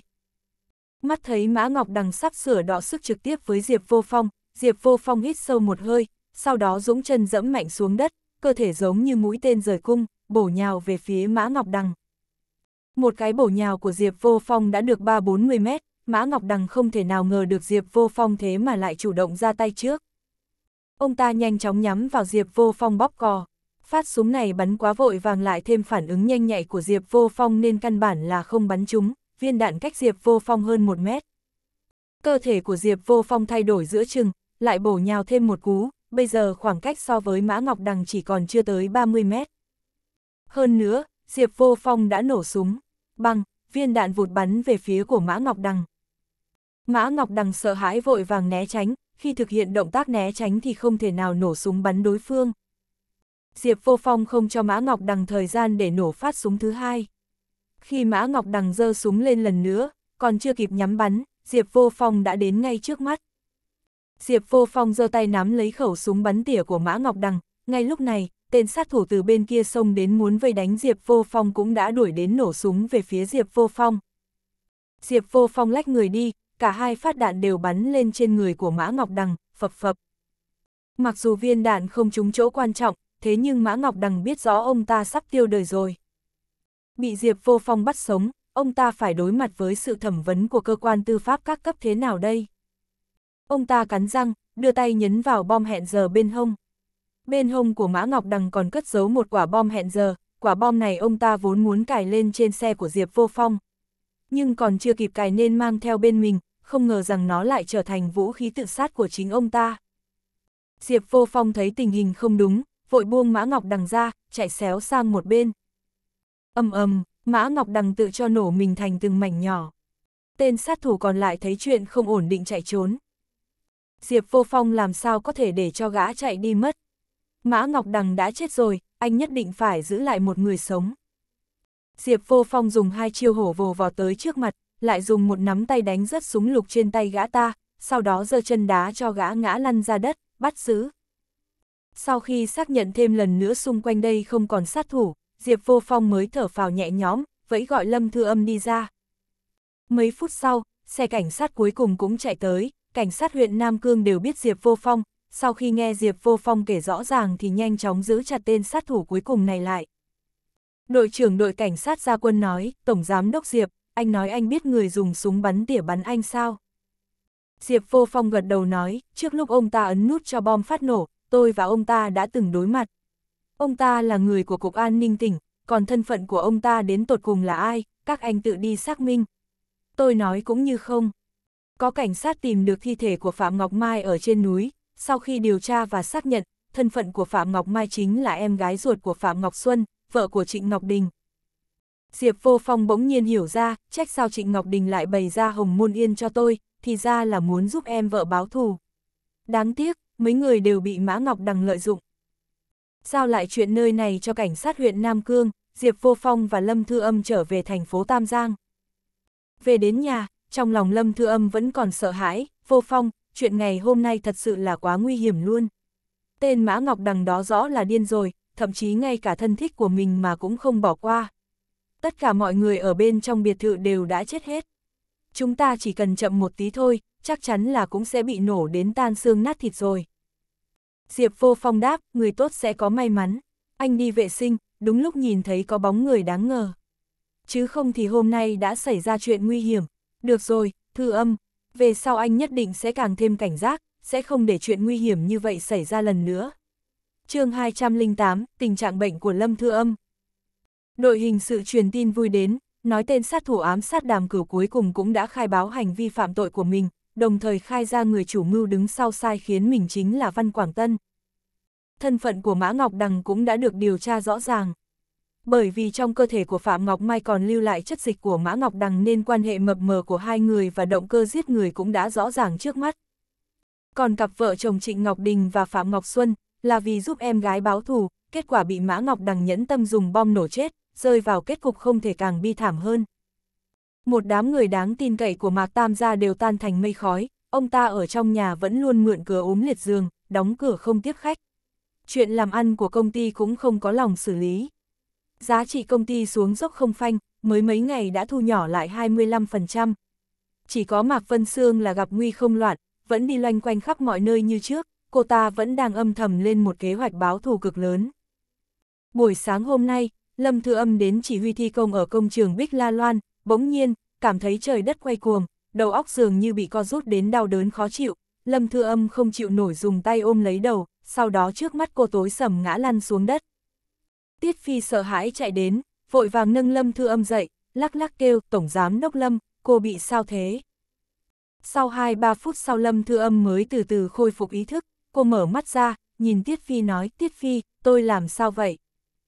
Tiết Phi thấy Lâm Thư Âm đã tỉnh lại, tức thì thở phào nhẹ nhõm nói, Tổng Giám Đốc Lâm, vừa nãy cô dọa tôi sợ chết khiếp. Đột nhiên bị ngất xỉu, tôi kêu cô như thế nào, cô cũng không hề đáp lại. Lâm Thư Âm nhớ lại một lát nói, chắc là mấy ngày gần đây quá mệt nhọc rồi. Tôi không sao, anh không cần lo lắng cho tôi.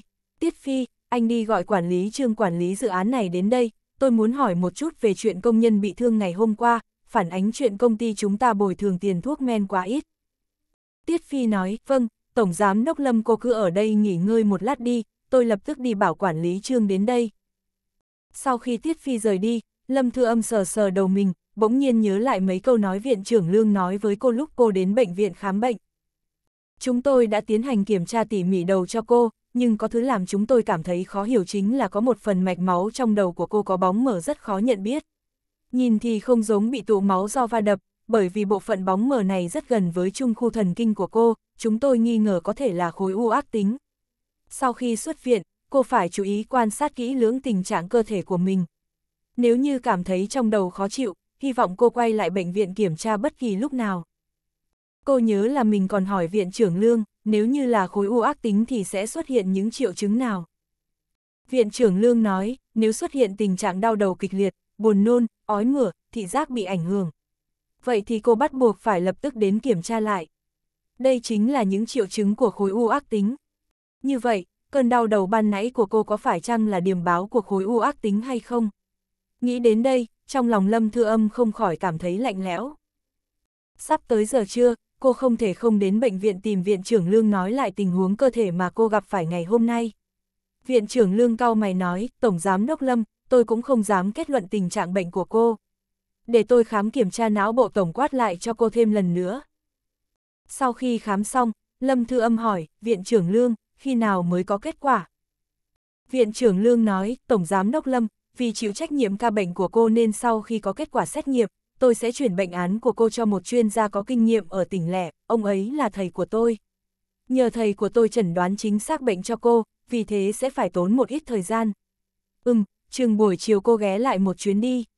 Lúc 4 giờ rưỡi chiều, Lâm Thư Âm đến bệnh viện đi tới phòng làm việc của viện trưởng Lương để lấy kết quả khám bệnh của mình. Cô nhìn thấy phó viện trưởng Lương đang ở trong phòng nghiên cứu một tấm phim x-quang với một vị bác sĩ tóc hoa dâm khác. Lâm Thư Âm gõ cửa. Viện trưởng Lương quay đầu qua nhìn thấy Lâm Thư Âm nói, Tổng Giám Đốc Lâm, cô đến rồi. Tôi và bác sĩ Hình đang nghiên cứu tình trạng bệnh của cô đây. Lâm Thư Âm đi vào hỏi, Viện trưởng Lương, kết quả của tôi thế nào? Viện trưởng Lương dùng vẻ mặt nghiêm túc nói, Tổng Giám Đốc Lâm, sau khi được nhiều chuyên gia trong bệnh viện chúng tôi kiểm tra, kết luận ở vị trí trung khu thần kinh của cô có khối u ác tính. Thế nhưng, chúng tôi đang thảo luận nghiên cứu phương pháp trị liệu. Lâm Thư Âm nghe vậy cảm thấy trái tim cô thật lạnh lẽo. Kết quả này, cô đã đoán được từ lúc còn trên đường đến, vì thế nên cô rất bình tĩnh hỏi, Viện trưởng Lương, tôi đã có chuẩn bị tâm lý. Xin hỏi, tôi còn lại bao nhiêu thời gian? Viện trưởng Lương thở dài nói, trưa hôm nay, tôi đã gửi hồ sơ bệnh án của cô đến tỉnh lẻ, thầy của tôi cũng kết luận là não của cô xảy ra vấn đề. Hơn nữa, vấn đề hiện nay không có quan hệ gì với lần bị thương do va đập trước đó. Thầy của tôi đề nghị mong cô có thể đến tỉnh lẻ để có thể tiếp nhận các phương pháp trị liệu tốt hơn. Dù sao, trình độ chữa bệnh của Bệnh viện Nhân dân thành phố Tam Giang của chúng tôi vẫn kém hơn Bệnh viện tỉnh. Lâm Thư Âm bình tĩnh nói, Phó Viện trưởng Lương, trong lòng tôi hiểu được. Tôi chỉ muốn hỏi, tôi còn lại bao nhiêu thời gian? Viện trưởng Lương nói, khoảng 3 tháng đến nửa năm. Tổng Giám Đốc Lâm, cô cũng đừng quá buồn. Có lẽ các chuyên gia ở bệnh viện tỉnh lẻ sẽ có cách nhìn khác về căn bệnh của cô. Ông ấy cho rằng có 10% khả năng đây không phải là khối u ác tính. Ông ấy đề nghị mong cô có thể tiếp nhận phẫu thuật mở não để kết luận. Thế nhưng, phẫu thuật mở não có độ nguy hiểm rất cao. Bằng không thì cô có thể đến bệnh viện tỉnh để kiểm tra lại một lần. Lâm Thư Âm nở nụ cười cay đắng nói, cảm ơn ông, viện trưởng Lương. Tôi muốn lấy báo cáo kết quả xét nghiệm của tôi đi. Viện trưởng Lương chỉ đành gật đầu, cất kết quả khám bệnh vào túi hồ sơ rồi đưa cho Lâm Thư Âm. Trên đường về nhà, tâm trạng của Lâm Thư Âm nặng chiếu, khi cô biết mình có khối u ác tính, lúc đó cô rất sợ hãi, sợ hãi mất đi thế giới tươi đẹp này, sợ sẽ mất đi Diệp Vô Phong, cha mẹ, bạn bè những người thân yêu của cô. Nhưng mà, dần dần cô đã có thể bình tĩnh lại, đời người có ai mà sẽ không chết chứ? Quan trọng là bạn có gì ở cuộc đời này, bạn còn muốn làm việc gì? Cô có thể có được người chồng xuất sắc như Diệp Vô Phong đã rất hài lòng, chỉ tiếc là không thể ở cùng anh ấy đến khi đầu bạc răng long. Sau khi cô chết, anh ấy chắc là sẽ rất cô đơn lẻ loi, cô sợ anh ấy sẽ mượn rượu giải sầu, không gượng dậy nổi. Anh ấy là con cưng của trời, là vũ khí sắc bén của quốc gia, dù Kinh Hồng thưởng thức anh ấy như vậy, hy vọng anh ấy có thể dốc sức vì việc nước, nhưng anh ấy lại bởi vì mình mà cứ mãi chán trường, thì chẳng phải là rất đáng tiếc sao. Nếu như cô chết, cô nhất định phải tìm được người có thể thay cô chăm sóc anh. Trong đầu Lâm Thư Âm lập tức hiện ra hình ảnh của Bạch Tinh Đồng. Vào đêm ngày hôm qua, Lâm Thi Mộng lén lút tới tìm cô, đưa cho cô vài bức ảnh. Vốn dĩ Lâm Thư Âm xem thường mấy tấm ảnh đó, cô vô cùng tin tưởng Diệp Vô Phong không chút nghi ngờ, cô biết Diệp Vô Phong hỗ trợ Bạch Tinh Đồng phá án vậy nên sẽ có một ít tiếp xúc ám muội không thể tránh được. Trong lòng chỉ có cô, thế giới vốn bình yên chỉ có người tự chuốc lấy phiền mà thôi, trong lòng cô biết là được. Vì thế, Lâm Thư Âm cất tấm ảnh đi, nói với Lâm Thi Mộng, chuyện này chị sẽ điều tra kỹ lại trước. Người ta thường nói lâu ngày sinh tình, nếu cô thật sự chết đi, người duy nhất có thể thay thế cô cũng chỉ có mỗi bạch tinh đồng. Huống hồ, cô ấy còn là đội trưởng đội hình cảnh, cô ấy nhất định sẽ càng phù hợp với Diệp Vô Phong hơn mình. chương 209, tâm sự tí việc riêng. Lâm Thư âm ấn số điện thoại của Bạch Tinh Đồng, Bạch Tinh Đồng, bây giờ cô có rảnh không? Tôi muốn tâm sự với cô tí chuyện riêng. Bạch Tinh Đồng dường như rất nôn nóng nói, xin lỗi thư âm, vợ của thư ký thị ủy quách xảy ra chuyện rồi. Tôi bận xử lý án, đợi lát nữa gọi lại cho cô sau nha.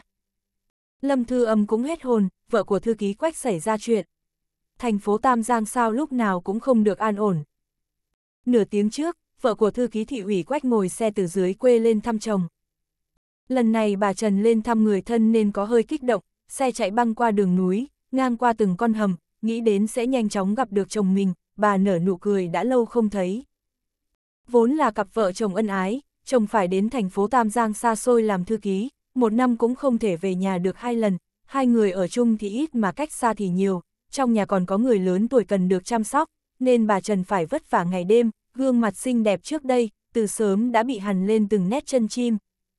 Tháng này thư ký Trần lại gọi về báo lại không thể về quê làm cho bà rất thất vọng. Nhưng được mẹ chồng đề nghị, con à, nó không về, con đi lên thăm nó đi. Mẹ ở cùng với mấy chị em già, không có chuyện gì đâu. Con đi đi, đi đi. Nhận được tin vợ muốn đến, thư ký Trần phái nhân viên bảo vệ của mình là mãnh tử đến đón trên đường.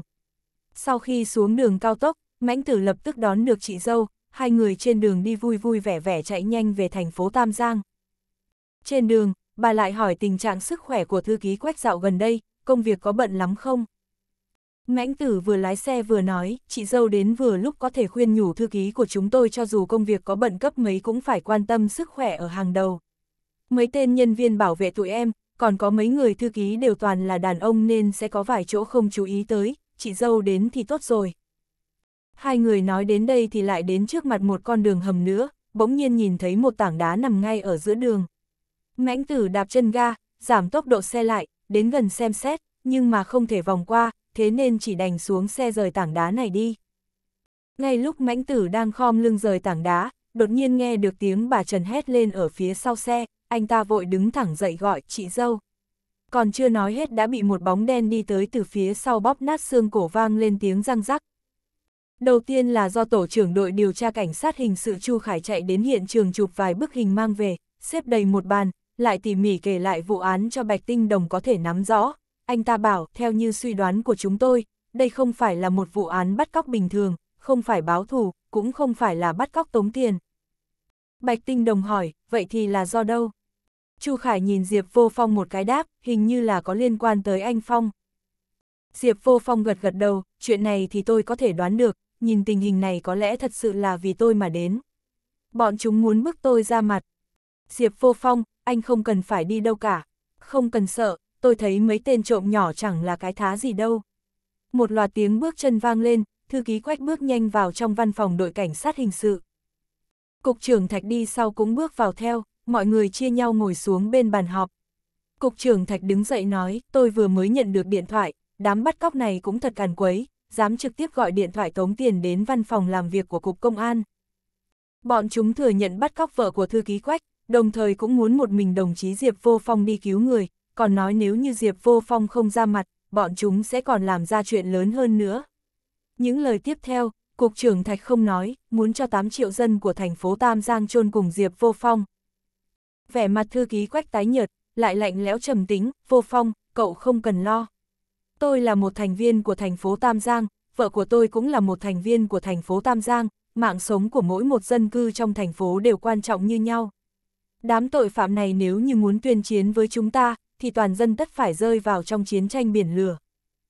Thư ký quách khí thể hào hùng không chịu để Diệp Vô Phong ra mặt đổi lấy sự an toàn của vợ mình làm cho Diệp Vô Phong thấy thật cảm động. Anh cũng cam đoan ngay tại đó rằng anh nhất định sẽ tận hết sức lực phối hợp với công tác điều tra của cảnh sát, một lưới bắt hết bọn tội phạm này. Thư ký Quách tin tưởng vào năng lực của đội cảnh sát, lại bắt tay với từng đồng chí cảnh sát trong tổ chuyên án, ông ta rời đi trước. Cục trưởng Cục Công an lại mở họp lần nữa, chúng ta chỉ có lòng tin chiến thắng là mãi cũng không đủ, cần phải biết người biết ta mới có thể bảo đảm chiến thắng được kẻ địch. Mọi người lại theo chỉ thị của Cục trưởng mà chia nhau hành động, hai tiếng sau, vụ án có tiền triển mới. Chu Khải chỉ vào bản đồ nói, tôi nghi ngờ hành động này của bọn chúng rất có thể là nhà máy điện hạt nhân thành phố Tam Giang, bởi vì bọn chúng có tuyên bố rằng, để cho 8 triệu người dân của thành phố Tam Giang phải chôn cùng. Nếu như bọn chúng không phải hù dọa thì rất có khả năng bọn chúng đang có ý đồ với nhà máy điện hạt nhân. Lỡ mà chúng ta không đồng ý với điều kiện của bọn chúng thì bọn chúng chắc có lẽ sẽ cho nổ nhà máy điện hạt nhân. Hơn nữa vừa mới nhận được tin tức xung quanh nhà máy có điểm đáng ngờ. Bạch Tinh Đồng cũng có manh mối mới, cô vừa liên lạc với bên hình cảnh quốc tế, lấy được một ít hồ sơ, sau khi so sánh, tên bắt cóc lần này xuất hiện ở thành phố Tam Giang rất có khả năng là liễu sinh bất bại, người này là một tay sát thủ của Đông Dương hay dùng ưng chảo công trực tiếp bóp nát xương cổ của nạn nhân để giết người. Lần này công tác phá án của Cục Công an làm rất kịp thời, cũng rất tỉ mỉ, thực sự là làm tới trình độ biết người biết ta mà Cục trưởng yêu cầu, bởi vì lúc này Liễu Sinh bất bại cùng với mấy tên đàn em của hắn đã có mặt ở nhà máy điện hạt nhân thành phố Tam Giang rồi. Bọn chúng cân nhắc chọn mục tiêu ở chỗ này xuất phát từ vài phương diện sau, đạ hình ở trên cao, nhà máy điện hạt nhân nằm bên vách đá ven biển, nơi này dễ thủ khó công. Thêm nữa, cho dù bộ đội đặc chủng của Hoa Hạ lợi hại thế nào cũng sẽ sợ ném chuột vỡ bình, không dám sử dụng các loại vũ khí cỡ lớn. Còn có, nếu như nơi này xảy ra vấn đề gì, cho dù chỉ là chút gió thổi cỏ lay cũng sẽ gây ra ảnh hưởng tới toàn thế giới, làm tổn hại tới hình tượng của cả đất nước Hoa Hạ, dựa vào việc đó để áp chế thư ký quách thật không thể thích hợp hơn. Bọn chúng thậm chí nghĩ đến nếu như không áp chế được vậy thì cho nổ nhà máy điện hạt nhân, để 8 triệu người cùng chết. Mục tiêu chiến lược quan trọng như nhà máy điện hạt nhân được bảo vệ tương đối nghiêm ngặt, nhưng mỗi người trong nhóm của liễu sinh bất bại đều là cao thủ siêu cấp, bảo vệ bình thường căn bản sẽ không thể nào phát hiện ra bọn chúng, dù cho có phát hiện cũng không có cách ngăn cản. Liễu sinh bất bại mặc đồ đen cả người, dẫn đầu đoàn lính đánh thuê hắc diện, đã chiếm giữ được phòng điều hành chính của nhà máy điện hạt nhân. Từ trong từng màn hình theo dõi, Liễu Sinh nhìn từng món đồ hình dáng tựa như tổ ong, một hàng số cứ nhảy liên tục, còn có chi chít các đường dây nối nhau thông ra bốn hướng. Gã là cao thủ cấp bậc nhẫn hoàng, nhưng lại không biết một tí gì ở phương diện điện. Nhìn tới nhìn lui cũng không hiểu cái gì, miệng chửi bậy một câu, nhấc chân đá một tên nhân viên kỹ thuật giả chết la oang oang. Tử cung Mỹ địch nói với Văn Tam Đa, cậu lập tức liên hệ với thị trưởng Trần của bọn họ. Cô ta dường như không biết trong cơ cấu chính phủ của Hoa Hạ, quyền của thư ký còn lớn hơn so với thị trưởng Trần. Văn Tam Đa bận biểu chỉ huy hai người lính truyền tin, bọn họ lấy laptop liên kết với tín hiệu vệ tinh, lại thao tác trên bàn phím một lúc, điện thoại đã được gọi vào số đi động của thị trưởng Trần. Vừa nghe thấy tiếng của đám bắt cóc, thị trưởng Trần nhanh chóng chạy đi tìm thư ký Quách chương 210, chiếm giữ nhà máy điện hạt nhân. Thư ký Quách đang đi tới đi lui trong phòng làm việc của mình, nhìn ông ta bên ngoài có vẻ bình tĩnh nhưng trong lòng đã rất thấp thỏm không yên. Chuyện của vợ mình là chuyện nhỏ, hơn 8 triệu mạng sống của người dân mới càng là chuyện lớn. Thấy thị trưởng Trần chạy đến, ấn điện thoại nói với ông, là bọn bắt cóc gọi tới. Đến lúc này, thư ký Quách cũng tỉnh táo lại, còn gật gật đầu, rồi tiện tay nhấn vào nút ghi âm alo, tôi là thư ký thành phố Tam Giang, có chuyện gì anh có thể nói với tôi, tôi sẽ chịu trách nhiệm. Giọng của Liễu Sinh bất bại được xử lý qua máy tính nên đã không còn là giọng nói thật của gã, nhưng vẫn nghe được sự kiêu căng trong giọng điệu, chúng tôi đã khống chế được nhà máy điện hạt nhân của các ông. Nói thật thì tôi không biết nhà máy điện hạt nhân này là dùng để làm gì, nhưng tôi biết một việc, là nơi đây đã được cài vào rất nhiều thuốc nổ, chỉ cần một tiếng, oành, tin là ở đây sẽ là một biển lửa vô cùng xinh đẹp có phải các ông rất thích bắn pháo bông mừng năm mới không? Tốt, vậy tôi sẽ tặng cho các ông một phần quà lớn. Các ông phải xem cho kỹ đó, đây cũng là phần quá tốt nhất, tin là chỉ cần vang lên một tiếng thôi, thì trên bản đồ sẽ không còn nơi nào có tên là thành phố Tam Giang nữa. Điều kiện của ông là gì? Thư ký Quách nói rất bình tĩnh, ông hiểu rõ nếu như đối phương chỉ là muốn cho nổ nhà máy điện hạt nhân thì sẽ không chủ động gọi cú điện thoại này đến cho ông. Wow, thư ký Quách thật là thông minh, vậy được thôi, tôi trực tiếp nói thẳng, 3.000 tỷ vào một cái đầu của Diệp Vô Phong. Chỉ cần làm được hai chuyện này thì chúng ta vẫn có thể làm bạn, nếu không thì 8 triệu dân trong thành phố Tam Giang sẽ cùng nhau đi gặp Thượng Đế. Thượng Đế cũng không đồng tình với việc mà các người đang làm đâu, tôi hỏi thêm một câu, vợ của tôi có phải đang ở trong tay mấy người không? Thư ký Quách bình tĩnh nói.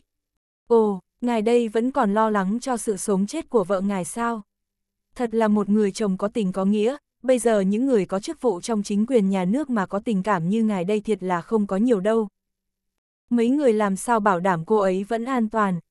Ông bớt nói nhảm với tôi đi, bây giờ không phải là lúc ông bàn điều kiện với tôi, tôi nói gì ông nhất định phải đồng ý.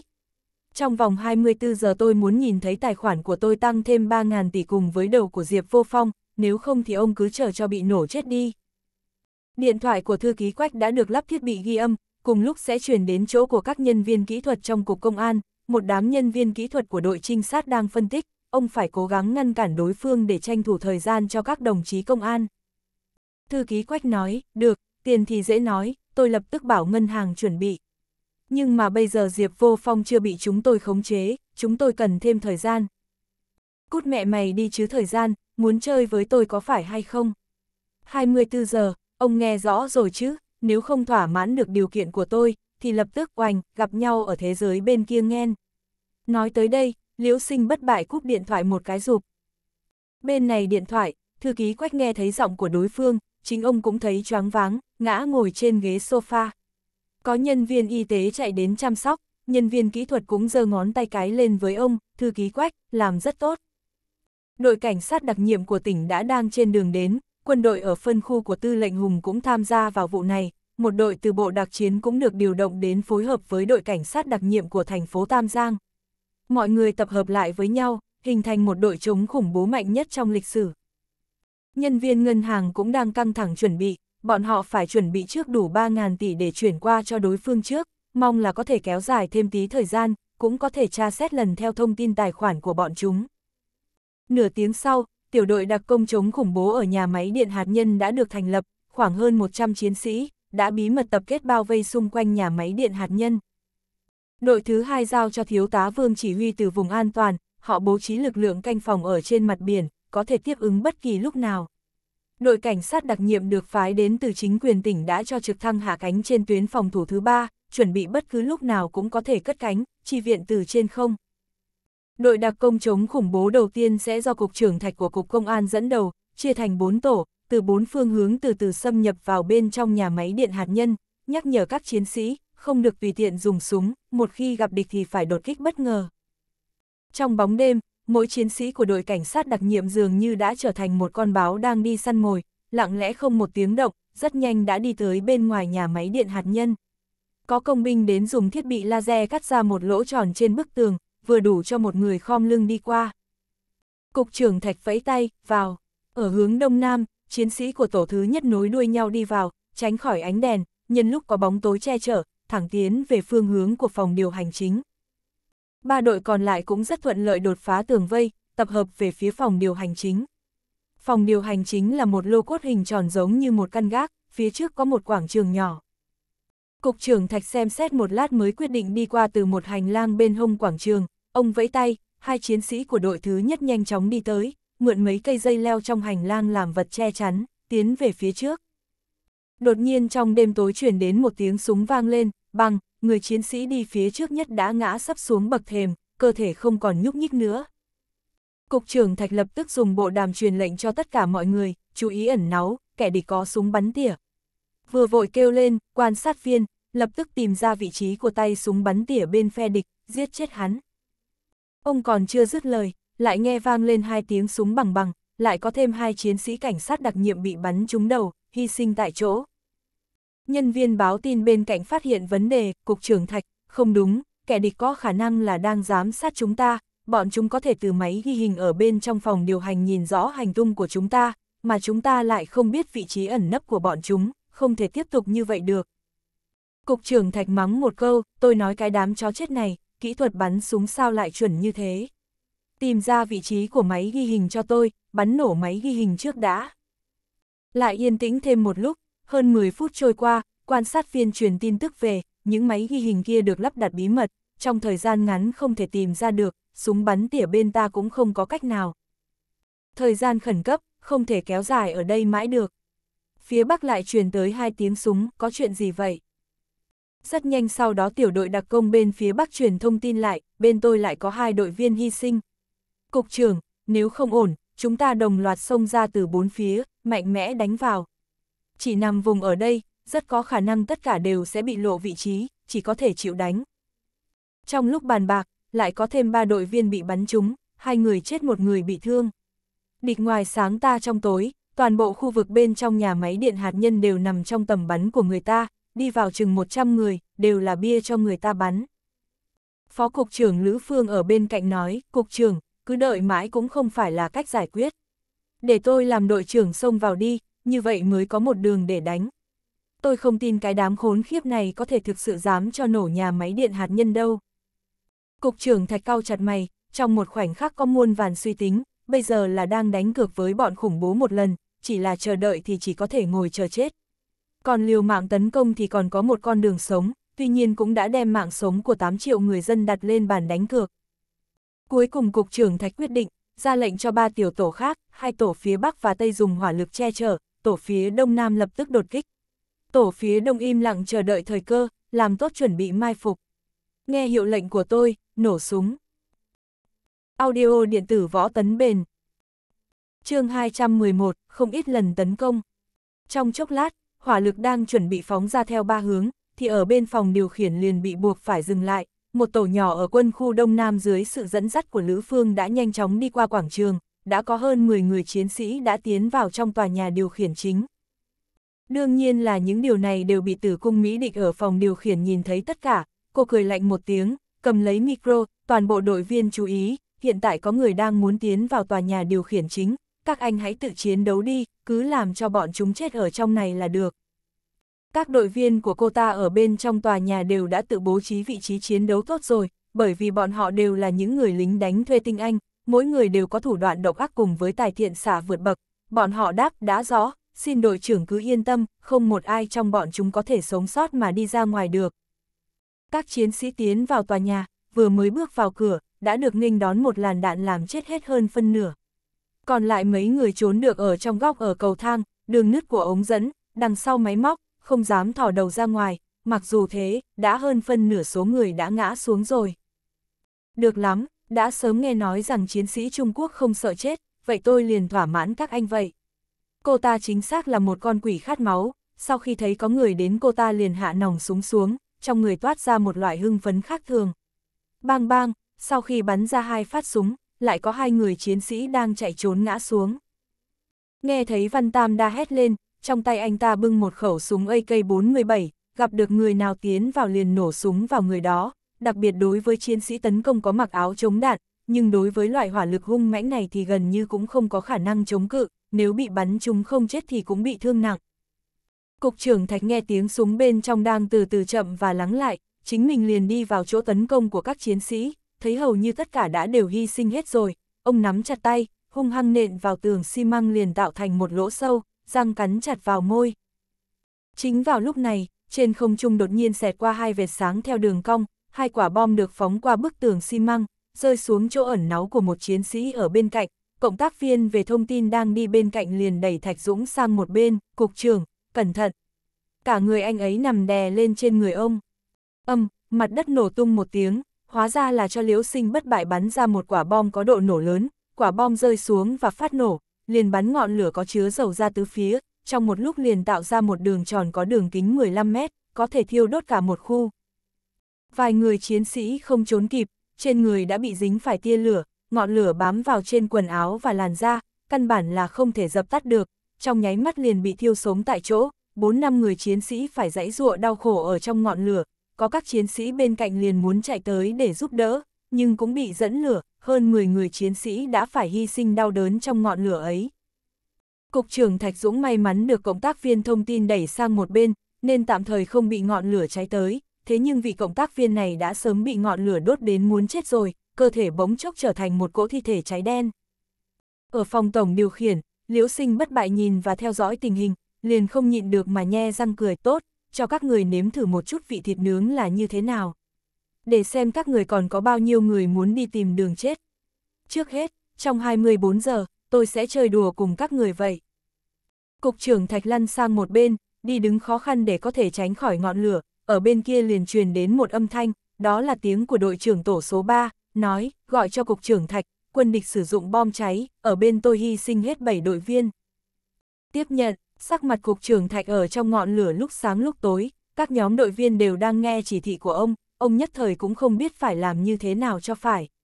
Đánh lén đã thất bại rồi, tấn công thì gặp phải khó khăn, hành động cũng bị làm gián đoạn. Chính lúc này ở phía sau, một bóng người đang chạy ra khỏi từ tòa nhà điều khiển chính, nhìn trang phục thì nhận ra ngay đó là chiến sĩ tấn công. Cục trưởng Thạch liền ra lệnh cho các đội viên khác chạy đến để hỗ trợ hỏa lực, cuối cùng, bóng người kia cuối cùng cũng trốn về được nơi ẩn náu bí mật, đó là phó đội trưởng Lữ Phương. Người của anh ấy đã có ba vết thương nhẹ, thở dốc một lúc, rồi quay sang báo cáo tình hình với cục trưởng Thạch, chúng tôi vừa mới đi vào, thì đã bị bọn chúng tấn công một cách chính xác, các đội viên khác hy sinh toàn bộ, không một ai may mắn thoát chết. Cục trưởng thạch sắc mặt vốn đã cực kỳ khó chịu rồi, bây giờ lại liên tiếp gặp phải khó khăn, trong chốc lát liền tức giận, đột nhiên đứng lên từ chỗ ẩn náu, đồ khốn nạn này, Lữ Phương ở bên cạnh liền nhanh chóng kéo ông một phen, cục trưởng, cẩn thận. Âm, um, một viên đạn được bắn ra xẹt qua cổ của Thạch Dũng, ông ngã vào chỗ ẩn náu, lấy tay sờ một chút liền thấy tay toàn là máu tươi.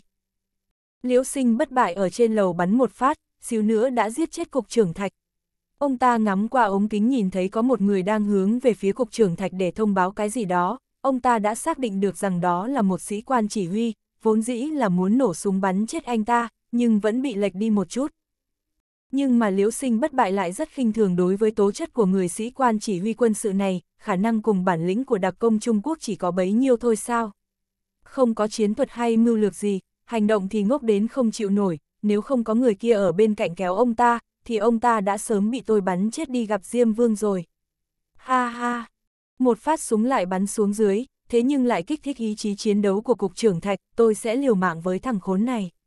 Ông nhảy ra khỏi chỗ ẩn náu, bỗng nhiên tiến nhanh về phía trước, bỗng nhiên lại nằm sấp xuống, đi theo lộ tuyến hình chữ S, dẫn dắt các đội trưởng nhóm đến gần hơn với phòng tổng điều khiển. Hiện tại, ông ấy đã không còn đường lui, cho dù có phải chết thì cũng muốn được chết ở trên chiến trường. Nhờ vào sự dẫn dắt của Cục trưởng Thạch, các chiến sĩ liền lập tức tấn công vào bên dưới tòa nhà, tuy rằng lại phải hy sinh thêm 4 năm người chiến sĩ, nhưng đổi lại, có hai kẻ cướp đã bị đánh gục, ngã xuống dưới lầu. Được, lại là một người không sợ chết, tôi sẽ sẽ thành toàn cho các người. Liễu sinh bất bại lại đưa súng ngắm ống kính vào cục trưởng thạch, gạt cò súng, cục trưởng thạch đã bị ông ta làm cho kích thích năng lượng chiến đấu rất lớn, cảm nhận được bên cạnh sẽ có nguy hiểm, liền quyết đoán nhảy lên như cá và nhào lộn về phía trước, thế nhưng ông vẫn bị chậm mất một phần ba giây, viên đạn đã bắn trúng đùi của ông. Đầu óc quay cuồng một lát, sau đó ông lại đứng dậy đi về hướng cửa chính, thế nhưng đùi phải của bản thân lại không thể dùng được, thân mình liền nghiêng về một bên, ngã sắp vào tường, chiếc súng tự động trong tay ông suýt nữa thì rơi ra. Thấy thế, Lữ Phương đã kịp thời kéo cục trưởng thạch vào một góc tường để tránh, cục trưởng, như thế này chúng ta không thể tấn công tiếp được, sức chiến đấu của quân địch đã vượt xa khỏi phạm vi khống chế của chúng ta rồi, nên rút lui đi. Cục trưởng thạch rút súng lục bên hông ra, rút lui cái gì mà rút lui, cá chết thì lưới rách, xông lên cho tôi, giết hết bọn chúng đi. Chính vào lúc này, điện thoại truyền đến giọng nói của Tổng Chỉ huy, quân đội số 1 chú ý, lập tức rút khỏi mặt trận chiến đấu. Rơi vào đường cùng, cục trưởng Thạch chỉ có thể ôm nỗi hận rút khỏi mặt trận. Giữa làn khói đạn mù mịt, nhìn thấy được cục trưởng chân đi khập khiễng mang theo quân đội rút lui ra bên ngoài, vẫn đi theo đường cũ rút về phía tường tre bên ngoài. Liễu sinh bất bại nhìn qua màn hình giám sát, miệng nở một nụ cười đắc ý, ngừng bắn, chú ý canh gác. Lần đột kích đầu tiên, toàn bộ cảnh sát kết thúc trong sự thất bại. Nguyên nhân bởi vì bọn họ quả thật đã xem nhẹ sức chiến đấu của bọn cướp này, một phần cũng bởi vì lo lắng rằng sẽ phá hủy các bộ phận trọng yếu của nhà máy năng lượng nguyên tử, nên không dám sử dụng vũ khí phá hoại hạng nặng, ngoài ra bên ta còn bị bất lợi về vị trí. Khói thuốc súng dần dần tản ra, bên trong bức tường đổ dạp mấy cỗ thi thể của các đội viên, trong không khí tràn ngập mùi thịt cháy xém và hôi thối, cùng với vị của máu tươi, bừa bãi cả một mảnh đất. Dường như Cục trưởng Cảnh sát với tư cách là Tổng cục Chỉ huy đã hiểu được tình huống bên trong chiến trường, đưa những chiến sĩ bị thương đến bệnh viện để chữa trị, thông qua radio để truyền đi tuyên bố mệnh lệnh quân đội số 2, tiến lên. Thiếu tá Vương dẫn dắt bộ đội đặc trùng, tăng cường liên kết với phòng tuyến số 2, sớm đã không kiềm chế được. Nghe được mệnh lệnh tấn công, liền nhảy dựng lên, bản thân liền dẫn đầu hơn 200 chiến sĩ đặc trùng, hướng về phía nhà máy năng lượng nguyên tử và tấn công từ bốn hướng. chương 212, sử dụng bom xung điện tử. Dù sao thì ở bên trong tòa nhà điều khiển chính, Liễu Sinh bất bại đang giám sát mọi thứ qua máy quay giám sát, rồi sau đó quan sát tình hình bên ngoài, nhìn thấy những bộ quần áo các chiến sĩ này mặc, cùng với cách tấn công, rõ ràng là khác với đám cảnh sát vũ trang ban nãy, ông ta không nhịn được mà mắng, thật ngốc nghếch. Lại là bầy sói con khác, đối với Trung Quốc, đây gọi là chiến thuật biển người. Tử cung Mỹ địch thu thập tư liệu của từng người, rất nhanh liền thống kê ra được, số lượng ở đợt tấn công lần này rơi vào khoảng 200 người, hầu hết chính là tăng mạnh số lượng người lên. Có điều, dù cho bọn họ có sử dụng nhiều người đi chăng nữa, thì đối với địa hình này, bọn họ cũng không thể triển khai toàn bộ nguồn nhân lực, cho nên chắc có lẽ bọn chúng sẽ tiến vào bằng cửa chính. Mặt khác, bọn chúng cũng không dám sử dụng vũ khí hạng nặng. Nghe vậy, Văn Tam Đa có chút lo lắng, không được đâu, cho dù bọn chúng không có vũ khí hạng nặng, cũng không chiếm được ưu thế về mặt địa hình. Nhưng mà đạn dược của chúng ta có hạn, nếu như về lâu về dài, thì sợ sẽ không trụ được. Mặt khác, nếu như bọn chúng chỉ có vây quanh ở ngoài để tấn công, thì chúng ta cũng sẽ bị bao vây mà chết. Liễu sinh bất bại âm thầm cắn răng nói, mẹ nó, bọn chúng không nên ép chúng ta chứ. Chẳng lẽ bọn chúng không sợ mình sẽ thật sự cho làm nổ nhà máy năng lượng nguyên tử hay sao? Nếu như không phải bị dồn vào bước đường cùng, thì ông ta cũng không bao giờ đồng ý cho sử dụng tuyệt chiêu khiến mọi người cùng bước vào chỗ chết như thế này. Đúng lúc ấy, ở ngoài cửa đột nhiên có hai người đội viên của bên Hắc Điện tới để báo cáo, đội trưởng, chúng tôi phát hiện ra một kho hàng, ở bên trong có dự trữ một ít đồ. Tử cung Mỹ địch hỏi, đồ gì thế? Người Hắc Điện mang số hiệu 4 vừa nhảy vừa nói, cái gì cũng có, súng ống đạn dược, lương thực, đồ dùng hàng ngày.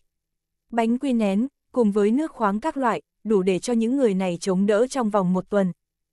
a à, nhiều như thế sao? Liễu sinh bất bại cũng cực kỳ hào hứng, không cần đến một tuần đâu, chỉ cần có thể được kéo dài thêm một hai ngày, bọn họ đã không chịu được rồi.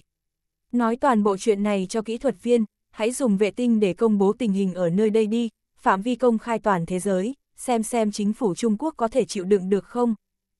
Ông ta dùng chiêu dẫn dắt dư luận thế này cũng cực kỳ lợi hại, về vấn đề hạt nhân có an toàn hay không vẫn là mối quan tâm rất lớn của quốc tế, nếu như hiện tại trong nước của Trung Quốc xảy ra chuyện lớn như vậy, thì chẳng phải dư luận của quốc tế cùng với dân chúng trong nước sẽ gây áp lực rất lớn lên chính phủ hay sao? Liễu sinh bất bại lại ra lệnh cho mấy tên thuộc hạ đi ra kho hàng lấy thêm súng ống đạn dược, để chuẩn bị tiếp tục chiến đấu.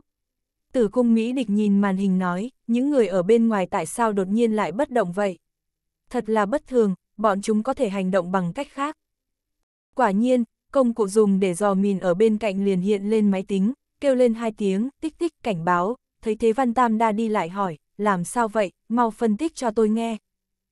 Sau khi khi người lính trực ở máy để quan sát dụng cụ dò mìn đã gõ bàn phím xong, trên màn hình lập tức xuất hiện toàn bộ hình ảnh đã được máy tính quét và phân tích xong, hai điểm màu đỏ không ngừng nhấp nháy, tăng giảm đột ngột ở trên màn hình xanh biếc. Cái gì thế này? Thấy thế Văn Tam đa liền hỏi. Người lính lại một lần nữa phân tích, cuối cùng cũng xác định được là phi cơ trực thăng dùng để chiến đấu, hai chiếc phi cơ này bay ở độ cao 3.200 mét, cách chúng ta chừng 40 cây số. Dựa theo tốc độ bay của hiện tại, sau khoảng 2 phút 40 giây sau sẽ tới đỉnh của tòa nhà điều khiển chính. Được lắm, bây giờ còn có cả không quân tham chiến. Bọn chúng định làm gì đây, chẳng lẽ nào thực sự muốn ném bom hay sao?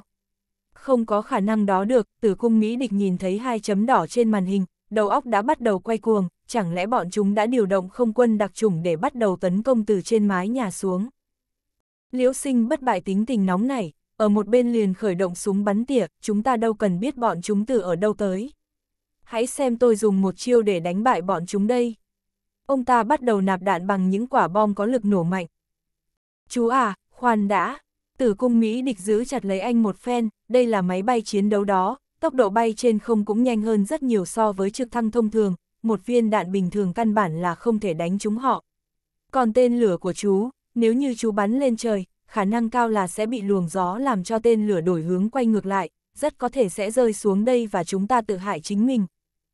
Liễu sinh bất bại đối với loại vũ khí này thì hoàn toàn không có kiến thức gì cả, sau khi nghe cô giải thích rõ ràng, liền không dám hành động thiếu suy nghĩ, lại xoay người đứng lên trở về chỗ, chừng mắt hỏi thế bây giờ phải làm thế nào. Tử cung Mỹ địch dùng tay vỗ vai ông ta, ý nói rằng không nên hấp tấp, lại đến quan sát hai chấm đỏ và số liệu trên màn hình, kinh ngạc nói máy bay chiến đấu của bọn chúng đang bay ở độ cao thấp. Chẳng lẽ là lính nhảy dù hay sao? Liễu sinh bất bại cười ha hả nói, bọn chúng tới đúng lúc lắm, chúng ta sẽ giết từng tên một. Nếu không sợ chết thì cứ việc xông lên. Nói xong ông ta liền ôm súng bắn tỉa lên, nhảy ra ngoài cửa, lên tới nóc của mái nhà, quả nhiên liền nghe được tiếng động cơ đang gầm rú, hai chiếc máy bay chiến đấu đang bay lại gần trên bầu trời đêm. Bên cạnh ông ta là hắc điện số 9, người phụ trách trinh sát về điện tử, dùng kính dành cho ban đêm để quan sát, sau đó thấp giọng nói, đội trưởng, hai chiếc máy bay chiến đấu đã tiến vào phạm vi có thể tấn công của chúng ta. Góc 45 độ bên trái và hướng 11 giờ. Liễu sinh bất bại dựa trên lời nói của anh ta, nhắm vào ống kính liền hốt hoảng khi nhìn thấy một đoàn người áo đen đang tiến lại đây, được. Tôi sẽ cho bọn chúng nếm thử sự lợi hại của tôi. Ông ta lấy ra một viên đạn có thể xuyên qua thép và lắp vào nòng súng. Tiếng vang của động cơ lúc xa lúc gần, xoay vòng ở trên không, đột nhiên giảm tốc độ rồi lao thẳng xuống hướng đến tòa nhà điều khiển chính. Bây giờ, có thể thấy rất rõ ràng thông qua ống kính đang nhắm, hai chiếc máy bay, một chiếc là dành cho lực lượng chính, một chiếc dùng để chở hỏa lực. Chiếc máy bay dùng để chở chủ lực đến mái nhà trước, tiến hành trinh sát bằng hỏa lực đùng đùng đùng. Hệ thống phun lửa liền phun ra hai ngọn lửa cùng một lúc, làm cho mái nhà bằng xi măng biến thành cho bụi văng khắp nơi. Sau khi quan sát không có phản ứng gì, máy bay hộ tống liền quay trở về, chủ động tiến đến gần sát mái nhà. Liễu sinh bất bại cùng với người lính hắc điện mang số hiệu số 9 ẩn thân kỹ ở trong hầm trú ẩn nên may mắn là không có bị bắn trúng, liền mắng, mẹ ơi, bọn chúng nghĩ rằng cưỡi một con chim sắt liền rất giỏi sao. Hãy đợi xem các người sẽ nổ tung chỉ với một phát súng của tôi thôi. Hắc điện mang số hiệu 9 hiểu ý, liền thông báo thông số kỹ thuật, chính là nó, khoảng cách khoảng 1.300 mét, mục tiêu đang di chuyển với tốc độ gần 200 mét trên một giây, tốc độ gió cao nhất ở vị trí hướng 3 giờ. Liễu sinh bất bại nhắm một bên mắt, nhìn chăm chăm vào ống kính, đợi cho đến khi máy bay ném bom chủ lực càng đến gần, đã có thể nhìn thấy rõ đầu và cánh. Ông ta mắng một tiếng, đi tìm chết đi, kéo cò súng, bắn ra một viên đạn xuyên thép. Phi công chính là người mà ông ta nhắm tới, thế nhưng vì quá xem nhẹ tốc độ của máy bay chiến đấu, viên đạn không trúng phi công, mà lại xuyên qua đuôi của máy bay chiến đấu, thế mà lại bắn trúng bình xăng của máy bay. Trong chốc lát liền có ngọn lửa lóe lên, một làn khói đen đậm đặc tỏa ra. Người phi công cũng lắp bắp kinh hãi, đối thủ của chúng ta lợi hại như vậy sao? Bắn có một phát liền bắn trúng bình xăng của chúng ta. Anh nhanh chóng thông báo cho chỉ huy dưới mặt đất, máy bay đã bị đạn bắn trúng bình xăng rồi, động lực sẽ nhanh chóng mất đi, xin chỉ thị. Quả nhiên tư lệnh ở dưới mặt đất ra lệnh, ném bom đi, rồi trở về điểm xuất phát. Kế hoạch dành cho máy bay chiến đấu lần này là đi trinh sát, sau đó sẽ thả bom, thế nhưng hiện tại đã bị trúng đạn rồi, nếu như không thả bom thì sẽ mất đi cơ hội. Cho nên sẽ thả hai quả thuốc nổ, dựa vào việc máy bay đang lao xuống, hai quả bom được thả từ cửa sổ đằng sau, được ném trực tiếp vào bên trong tòa nhà. Đây là điều mà Liễu Sinh bất bại và những tên cướp không ngờ tới, bọn họ không nghĩ rằng chiếc máy bay này lại chở bom, như thế này không phải là châm ngòi thuốc nổ cho cả nhà máy năng lượng nguyên tử này hay sao? Thế nhưng trên thực tế, hai quả bom này không phải vũ khí nổ mạnh như bình thường, mà sử dụng mạch xung đạn công nghệ cao. Loại bom này có công năng chủ yếu là phóng ra tia gamma, tạo ra hiện tượng xung điện từ ở số vôn cao. Khi năng lượng từ mạch xung điện được khuếch tán trong không khí, các vi mạch và hệ thống dây điện sẽ hấp thụ các năng lượng vô hình này. chương 213, Sức mạnh của mạch xung điện Dựa vào khoảng cách nổ mạnh ở tại nơi thử nghiệm cùng với tùy vào khoảng cách gần xa mà mạch xung năng lượng điện tử có cường độ khác nhau, khi bị chịu ảnh hưởng của thiết bị điện tử, nếu nhẹ thì tạm thời bị tê liệt, còn nặng thì sẽ hoàn toàn bị quá tải dẫn đến toàn bộ sẽ bị phá hủy bởi năng lượng khổng lồ. Khi mạch xung điện tử của bom phát nổ, kim loại bên trong sẽ sinh ra mạch xung điện tử có năng lượng lớn khoảng chừng 100 triệu watt, với độ mạnh tương đương gấp hơn 100 lần so với tia sét. Năng lượng đó có thể phá hủy toàn bộ các vật liệu dẫn điện, nó thậm chí còn có thể có khả năng xuyên qua các sự che chắn của các thiết bị bảo hộ. Cũng có thể thiêu hủy toàn bộ thiết bị bên trong. Xung điện từ của mạch xung bom điện từ còn có cả phản ứng chậm, phải đến hơn 10 phút sau thì toàn bộ hệ thống điện lực trong phạm vi tấn công, hệ thống máy tính cùng với hệ thống thông tin mới hoàn toàn bị phá hủy. Mạch xung bom điện từ còn làm cho hệ thống chỉ huy dưới lòng đất bị tê liệt trong một khoảng thời gian ngắn, đèn điện bị tắt, máy tính sẽ bị tắt máy, điện thoại di động thì bị gián đoạn tín hiệu, vũ khí công nghệ cao cũng sẽ mất tác dụng, tất cả sẽ biến thành một đống sắt vụn không hề có lực sát thương nào. Máy bay chủ lực sau khi ném xuống một quả bom mạch xung điện, liền lập tức trở về điểm xuất phát, nhanh chóng rời khỏi nhà máy năng lượng nguyên tử. Đuổi của máy bay chiến đấu đã cháy càng lúc càng lớn, đã không có khả năng trở về sân bay. Phi công liền liên hệ với chỉ huy dưới mặt đất, nhìn và tìm kiếm chính xác vị trí của gò đất, ấn nút phóng, nhảy dù khẩn cấp để thoát hiểm. Tư lệnh Hùng ra lệnh cho nhân viên cấp dưới nhanh chóng chạy đi cứu người phi công nhảy dù, ông nhíu mày hỏi Diệp Vô Phong ở bên cạnh, trước tình huống thế này, anh cảm thấy như thế nào? Sau vài lần công kích, Diệp Vô Phong đều ở ngoài quan sát tình hình, mặt ngoài nhìn anh có vẻ rất bình tĩnh, nhưng nội tâm cũng thực sự lo lắng, tư lệnh hùng, bọn cướp này thực sự không đơn giản. Bọn chúng chính là con át chủ bài của bọn lính đánh thuê, chẳng những kỹ thuật chiến đấu cao siêu, nhưng không hề ít các binh chủng nghiên cứu về khoa học kỹ thuật. Thế nhưng, nếu như mạch sung bom điện tử có thể ném vào thành công như đã nói, tất cả các hệ thống điện tử đối với bọn chúng liền trở thành một điểm yếu chí mạng. Tư lệnh hùng gật đầu, quả thật đúng là không thể xem thường bọn cướp này thật, quân chính quy của chúng ta còn không thể đấu lại với các thủ đoạn tấn công của bọn chúng, thậm chí còn vượt qua cả từng cá nhân có tố chất của chúng ta. Hơn nữa, bọn chúng còn cực kỳ hung ác, bất cứ thủ đoạn gì có thể khiến cho bọn chúng đi ra mà chúng ta còn phải giữ an toàn cho nhà máy điện hạt nhân, ngoài ra còn có những ảnh hưởng khác nữa. Đúng, Diệp Vô Phong nói, tôi xin được tham chiến. Dẫn dắt một tiểu đội binh lính đi vào, cùng với bọn họ kề cận chiến đấu. Một kế hoạch lớn cũng chỉ biết mang đến nhiều sự hy sinh hơn mà thôi. Tư lệnh hùng nhìn anh, đồng chí Vô Phong trước mắt không nên gấp gáp, thiếu tá vương của chúng ta thuộc bộ đội đặc trùng, cũng không phải ngồi không. Nếu như đợt tấn công này không có hiệu quả, anh liền hành động, lúc đó cũng chưa muộn. Thư ký Quách nói, ở trên sở của tỉnh đã điều động thêm được 8 người đặc công khác đến đây, họ đã đi máy bay trực thăng suốt đêm để tới đây trợ giúp. Khoảng 20 phút nữa thì sẽ tới chiến trường. Dù sao thì bây giờ ở trong tòa nhà điều khiển chính, bọn cướp cũng đã sắp không chịu nổi nữa rồi. Hai quả bom bị ném vào bên trong tòa nhà, trượt dài một cách lộn xộn bên trong hành lang của tòa nhà, không những thế còn liên tục nhấp nháy đèn xanh. Bọn cướp cũng chưa thấy qua loại bom này bao giờ, chắc chắn liền lập tức chạy trối chết bốn phía. Ngay cả đến liễu sinh bất bại cũng rất sợ hãi, bọn chúng làm ra việc này thực sự là không mặc sống chết của người Trung Quốc nữa sao? Thật khó tin khi bọn chúng thật sự chủ động cho làm nổ nhà máy năng lượng nguyên tử. Bọn chúng thật sự để cho 8 triệu cư dân chết oan uổng hay sao? Thế nhưng hai quả bom kia, dù cho là có di chuyển ở nơi nào, thì cũng không có phát nổ mạnh. Dụng cụ dò mìn liền đột nhiên phát hiện ra vấn đề, đấy không phải là loại bom thông thường, đó là bom mạch sung điện tử. Mạch sung điện này có thể phá hoại hết các bản gốc của các thiết bị điện. Thì ra là thế, đám người của Liễu Sinh bất bại và tử cung Mỹ địch liền nhớ ra rằng trên người mình còn đang mang các thiết bị điện tử, liền muốn gỡ các thông tin liên lạc từ radar và các thiết bị điện tử khác ra, nhưng đã chậm rồi. Hai quả bom xoay tròn hai bên, âm thanh mà điện cực ma sát với nhau tạo ra âm thanh khiến cho người ta phải ù tai.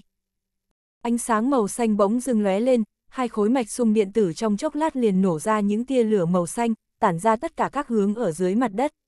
Máy tính radar và các dụng cụ thiết bị khác bị mạch xung điện bắn trúng, phát ra hai tiếng nổ, xẹt xẹt, màn hình lập tức tối thui, trong máy lại bốc lên những làn khói đen mù mịt. Dạo gần đây, bọn cướp chủ yếu đi cướp những dụng cụ điện tử, sau khi cảm nhận được có một nguồn điện bắn chúng vào cơ thể, cả đám người run rẩy, mắt miệng méo sạch, run rẩy vài cái rồi liền ngã xuống đất.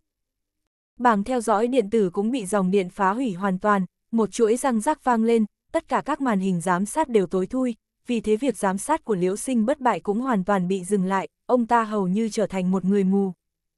Ngu ngốc, Liễu Sinh bất bại đố kỵ điên cuồng, giơ lên khẩu súng trong tay, muốn bắn để phá hủy mạch sung điện tử thế nhưng bị tử cung Mỹ địch ngăn lại, chú à, không thể được đâu. Phá hủy được nó thì ngay cả mạng sống chúng ta cũng sẽ không giữ được.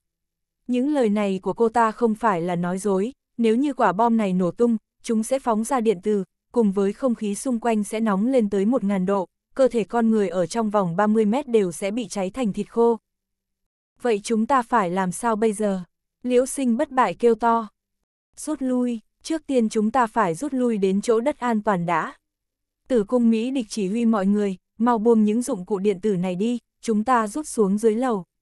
Không đến 3 phút nữa, năng lượng của hai quả bom mạch sung điện tử sẽ cạn dần, chúng sẽ trở thành một đống sắt vụn mà thôi. Cả đám người vội vã rút xuống dưới lầu, lúc này Liễu Sinh bất bại mới nhớ đến bà Trần vẫn còn bị nhốt tại một phòng trên lầu một, ông ta dùng một cước đá văng cửa phòng, quay sang mắng bà Trần, bà già này, chồng bà cũng quá độc ác rồi, ông ta muốn nướng chúng ta chết ở trong đây, tốt, trước tiên tôi liền đem bà chơi đùa cho tới chết trước đã, thật đáng buồn. Tử cung Mỹ địch đi vào từ phía sau, nói chú. Bây giờ tình hình rất khẩn cấp, hay là đợi đến khi bình tĩnh lại rồi hãy giải quyết.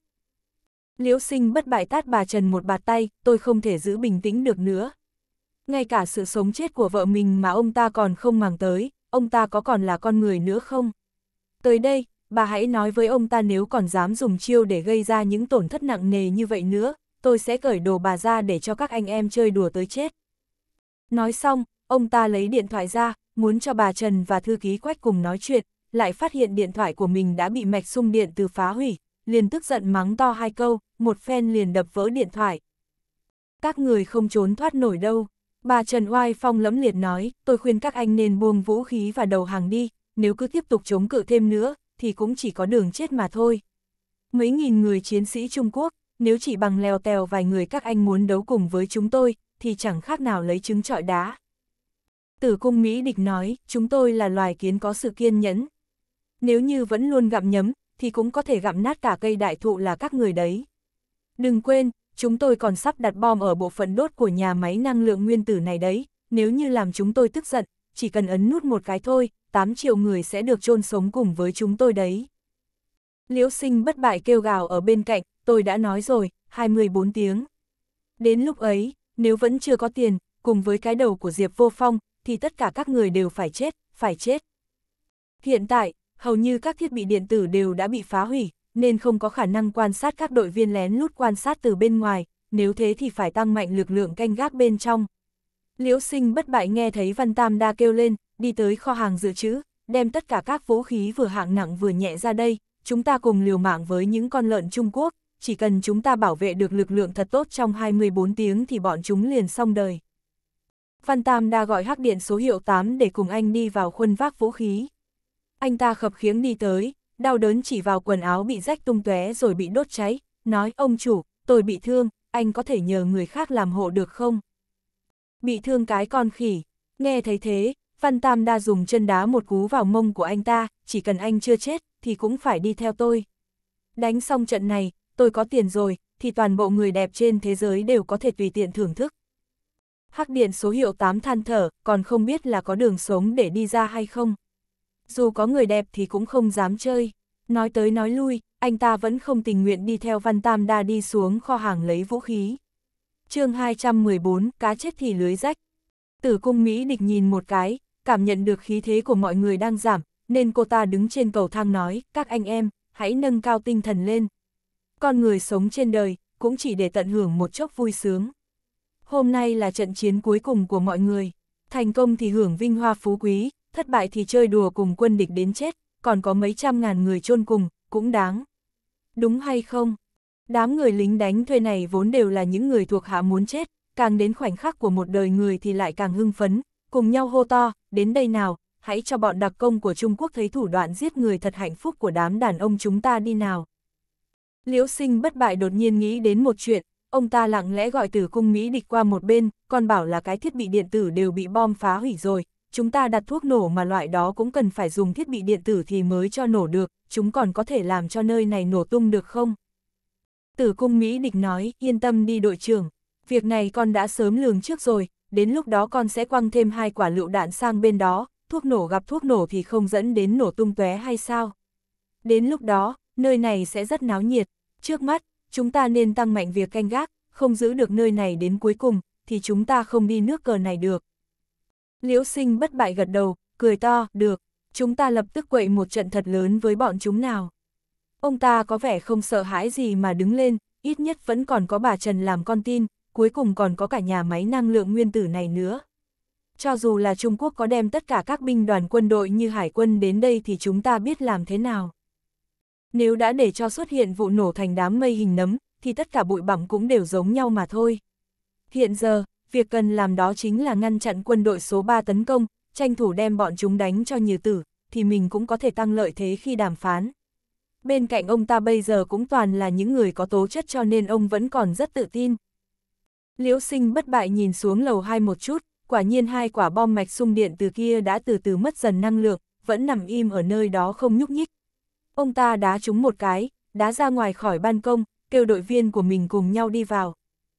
Vào lúc này, đã thấy Văn Tam đang mang súng ống đạn dược tới sau khi đi vào kho hàng bên trong, vừa cho đội viên hắc điện phân phối đồ tiếp viện, tử cung Mỹ địch bố trí bọn chúng theo nhiệm vụ, từ lầu 1 đến lầu 3 hình thành các kiểu bố trí để phòng ngự khác nhau. Dựa vào nhiệm vụ mà cô ta cho, hắc điện số hiệu 1, 2, 3, ở cửa của hành lang lầu 2, sẽ tiến hành ngăn chặn hỏa lực từ chính diện, còn hắc điện số hiệu 4, 5, 6, 7, chia nhau canh gác từ lầu 1 đến lầu 2 ở phía bên hông của hai bên cầu thang, bốn người bọn chúng hai người ở ngoài sáng, hai người núp trong tối, phụ trách hai bên cạnh của hỏa lực.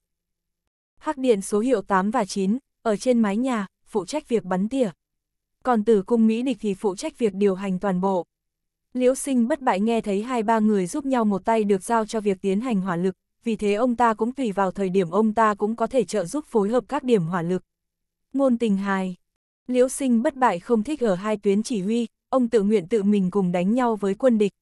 Đối với những sắp xếp của tử cung Mỹ địch, ông thấy rất vừa lòng, bên hông ông, lại vừa treo thêm mấy quả lựu đạn, ông ôm súng bắn tỉa của mình ra, mai phục tại cửa sổ lầu 3, nhìn từ ngắm vào ống kính nhìn ra bên ngoài. Ở bên ngoài bức tường chắn, quân đội đặc công số 2 của Trung Quốc đã bắt đầu tấn công, thiếu tá Vương đã tự mình dẫn dắt các quân đội đặc công thuộc hải quân của quân khu Đông Nam, đã đi tới phía dưới bức tường. Quan sát tình hình một chút, thử thăm dò đi vào bằng các hốc mà quân đội số 1 đã để lại, cũng chưa bị tấn công. Ông đoán rằng hệ thống theo dõi của quân địch đã bị phá hủy nặng nề rồi, đội viên của mình đều đang trong phạm vi an toàn. Rất nhanh, đã có 200 chiến sĩ, từ nhiều phương hướng khác nhau tiến vào vây quanh nhà máy năng lượng nguyên tử. Tư lệnh Hùng, đây là quân đội số 2, động động yêu, xin chờ mệnh lệnh của anh, có thể ra trận bất cứ lúc nào. Thiếu tá Vương thông qua máy liên lạc để xin chỉ thị của tư lệnh Hùng. Trước tiên không nên gấp gáp, bên chúng ta có sự thay đổi trong kế hoạch. Tư lệnh Hùng trả lời, điều này khiến cho thiếu tá Vương cảm thấy có chút kỳ lạ, thay đổi cái gì? Chẳng lẽ không tấn công nữa? Bọn cướp này có thể tự đầu hàng hay sao? Ông nghi ngờ một lúc, đột nhiên một bức tường chắn ở phía nam ngã dầm xuống một cái, bức tường xi măng dày 50cm, bị một con quái thú bằng thép đâm cho ngã, hóa ra, vì để giảm bớt số người chết, quân khu Đông Nam đã cố ý điều xuống hai chiếc xe tăng số hiệu 99 tới để hỗ trợ trận chiến. Lúc bấy giờ, xe tăng chiến đấu số hiệu 99 là loại mô hình xe chủ lực của quân đội Trung Quốc, bất cứ sự sắp xếp của hỏa lực nào, cũng được bọc thép để bảo vệ, ngoài ra còn có những tính năng cực kỳ tân tiến, cũng chính bởi vì quân đội thứ nhất bị hỏa lực bên trong tòa nhà làm cho chết rất nhiều, nên tư lệnh Hùng mới sử dụng con át chủ bài của quận đội lục chiến. Tư lệnh Hùng thông qua máy liên lạc ra lệnh cho thiếu tá Vương, động động yêu, động động yêu, tôi ra lệnh cho tiểu đội cho anh núp sau yểm trợ cho xe tăng, hướng về phía tòa nhà điều khiển chính tấn công. Thiếu tá Vương vừa nhìn thấy, có chỗ dựa là to lớn như vậy, mừng rỡ thiếu chút nữa là đã nhảy dựng lên, ra lệnh cho đội viên, đi theo xe tăng, xông lên nào, bắt sống con rùa con đó cho tôi. Dưới sự dẫn đầu của ông ấy, hơn 50 chiến sĩ đặc chủng mang vũ khí hạng nặng, mặc áo chống đạn, đi theo sát đằng sau xe tăng, xe đi ầm ầm, bánh xích cuồn cuộn, xuất phát đi về phía tòa nhà điều khiển chính. Mẹ kiếp, còn điều động cả thứ đồ chơi này lên tới đây, bọn chúng không biết xấu hổ sao. Liễu sinh bất bại đang ngắm ống kính súng bắn tỉa liền nhìn thấy ba chiếc xe tăng đang dẫn đường tiến vào đây, cùng với ba đội quân chiến sĩ đặc chủng đang tiến tới gần, ông ta tức giận mắng to mấy tiếng, ngay cả bắn được mấy phát súng, nhưng khi viên đạn được bắn vào xe tăng bọc thép, căn bản là không hề bị ảnh hưởng. Lo lắng về sự an toàn của hạt nhân, xe tăng được chế tạo dùng vào mục đích làm vỏ giáp cho chiến sĩ, chứ không có nổ súng, rất nhanh sau đó đã đưa được các chiến sĩ đi phía sau đến khu vực lân cận của tòa nhà. Tử cung Mỹ địch đã lùi về lầu ba ngắm bắn vào lỗ hổng ở phía sau, thông qua ống kính, đã tập trung ngắm đến một chiến sĩ đặc trùng, tài thiện xả của cô ta rất chính xác. Lần này, cô ta ngắm ngay mặt của chiến sĩ đặc trùng kia, chiến sĩ kia nhìn thoáng qua trông rất trẻ tuổi, kinh nghiệm hiển nhiên là chưa có nhiều. Theo sát xe tăng từ phía sau mà đã lộ ra ngoài nửa người của mình rồi, các chiến sĩ đều mang mặt nạ bảo hộ bằng thép pha lên nên đều nhìn không thấy rõ mặt. Tử cung Mỹ địch cười lạnh nói, cô cương à, đừng có trách chị đây, chỉ nên trách đám người lãnh đạo đã điều em ra chiến trường thôi, nên lên thiên đàng báo danh đi. Nói xong, ngón tay nhẹ nhàng bóp cò, một viên đạn gào thét được bắn ra. Viên đạn được ngắm bắn xuyên qua mặt nạ bảo hộ bằng thép pha lê của chiến sĩ, vang lên một âm thanh trầm đục ở dưới đất. Ngay sau đó, một dòng máu tươi lẫn với não bắn tung tóe ra mặt đất, người chiến sĩ trẻ tuổi kia cứng ngắc một cái rồi ngã xuống đất. Thiếu tá Vương ở ngay tại xe tăng lập tức khom lưng đi tới, tất cả sự việc đều được ông nhìn thấy, ông mắng một câu, đồ khốn khiếp. Mọi người chú ý ẩn nấp. Qua phát bắn vừa rồi, thiếu tá Vương cũng thật sự khiếp sợ, phải biết rằng, bọn họ tăng mạnh sự liên kết giữa quân khu Đông Nam và bộ đội đặc chủng bí mật. Bọn họ vốn là những người chấp hành nhiệm vụ, từng chiến sĩ đều được trang bị đồ bảo hộ đặc thù, loại nhựa này, viên đạn bình thường không thể bắn xuyên qua được, xem ra đạn của quân địch cũng là loại đạn đã được cải tiến. Nhìn khoảng cách từ đây đến tòa nhà còn chưa đến 50 mét, thiếu tá vương ra lệnh tất cả các chiến sĩ đều núp thật kỹ đằng sau của xe tăng, không cần phải quá sốt ruột, nên thận trọng. Ba chiếc xe tăng để bảo vệ cho những chiến sĩ đặc chủng này, cũng không có chạy nhanh, mà từ từ chậm rãi tiến về phía tòa nhà. Nhìn thấy một đội chiến sĩ đã sắp đánh tới trước cửa của tòa nhà, liễu sinh bất bại cũng có chút sốt ruột, đùng đùng bắn ra hai phát vào xe tăng bọc thép, viên đạn trượt sang một bên, căn bản là không hề có tác dụng. Lúc này, tử cung Mỹ địch từ lầu 3 chạy xuống, cô còn mang đến hai băng đạn, nói với liễu sinh bất bại, chú à, đổi sang loại đạn này đi, chú hãy nghe con nói, ngắm vào phía bên dưới của xe tăng, đó là phòng của người điều khiển. Chú nổ súng bắn trước, con sẽ bắn vào vết đạn của chú. chương 215, điều động át chủ bài. Liễu xanh bất bại nhìn thấy đạn mà tử cung Mỹ địch mang ra cũng không có gì khác với đạn bình thường, chỉ là màu sắc không giống, ở trên mặt còn được ký hiệu bằng vài chữ số màu đỏ. Giữa lúc anh ta định hỏi, người trước mặt đã nói tới, đây là đạn xuyên giáp uranium nghèo. Có thể dễ dàng phá hủy được xe tăng bọc thép bình thường, nhưng loại xe tăng đánh không thủng trước mặt này, chúng ta cần phải phối hợp tốt. Hóa ra tử cung Mỹ địch ở lầu 3 đã có thử nghiệm qua, cô ta dùng loại đạn uranium nghèo này bắn về phía bên hông của xe tăng bọc thép ZTZ-99. Theo lý thì loại đạn có tầm ngắm trong khoảng 1.500 mét này nếu bắn ra sẽ có thể xuyên thấu được tới độ sâu 17mm của tấm thép, nhưng kết quả lại không thể xuyên thấu được chiếc xe tăng bọc thép này. Rõ ràng đạn xuyên giáp đã bắn trúng bên hông của xe tăng thế nhưng chỉ là sượt qua bề mặt của xe tăng tạo ra một vệt đốm lửa ma sát. Hóa ra xe bọc thép của đối phương cũng đã được nâng cấp, đây thật đúng là giống như giáo và lá chắn mà. Tử cung Mỹ địch nhìn thấy ba chiếc xe tăng bọc thép quái gở kia đang áp sát từng bước, lại nghe thấy tiếng liễu sinh bất bại ở tầng 2 đang mắng nhiếc đầy oán giận. Đột nhiên, cô ta nảy ra sáng kiến mới, nhấc súng ngắm chạy như bay xuống dưới. Cô ta muốn hợp tác với anh ta cùng nhau, xuyên giáp, liễu sinh bất bại nhanh chóng hiểu được ý của cô ta. Anh ta ép một đầu đạn uranium nghèo vào trong nòng súng của mình xong, đang lúc muốn nổ súng lại nghe người trước mặt nhắc nhở, sư thúc, lực đàn hồi của loại đạn này gấp mấy lần loại đạn khác, thúc phải cẩn thận. Liễu sinh bất bại cảm giảm nói lại, còn phải nói sao, có loại đạn gì mà tôi chưa từng bắn đâu. Anh ta vừa bóp cò, một tiếng, bùng, nổ vang, nòng súng bị bật lên nhả ra một làn khói đặc, một luồng khí đàn hồi bật ngược lại khiến liễu sinh bất bại bị chấn động tới mức ngã vịch mông xuống trên sàn. Tư cung Mỹ địch không có thời gian để ý tới anh ta, từ bên trong ống ngắm đang nhìn chằm chằm vào mục tiêu, một phát bắn này của liễu sinh bất bại hoàn toàn không có bắn lệch, ở chính giữa bên trái của chiếc xe tăng ở gần trước mặt nhất bị bắn lộ ra một hố bom, không hổ với đẳng cấp tay bắn tỉa cực đỉnh của mình, cô ta vừa nổ súng đã chính xác bắn thẳng vào hố bom kia. Xe tăng rung lên, cuối cùng cũng bất động, xem ra người điều khiển bên trong đã trúng bom bỏ mình rồi. Liễu sinh bất bại từ trên đất bò dậy, đúng lúc nhìn thấy chiếc xe tăng thứ nhất đã, ngỏm, rồi liền hăng hái la hét, hay. Cứ bắn như vậy đi, làm lại lần nữa. Anh ta nói xong lại chèn thêm một đầu đạn xuyên giáp nữa, lần này đã có kinh nghiệm hơn, hai người cũng phối hợp tốt hơn. Bùng bùng, hai phát bắn, chiếc xe tăng thứ hai cũng đã bị ép phải ngừng lại.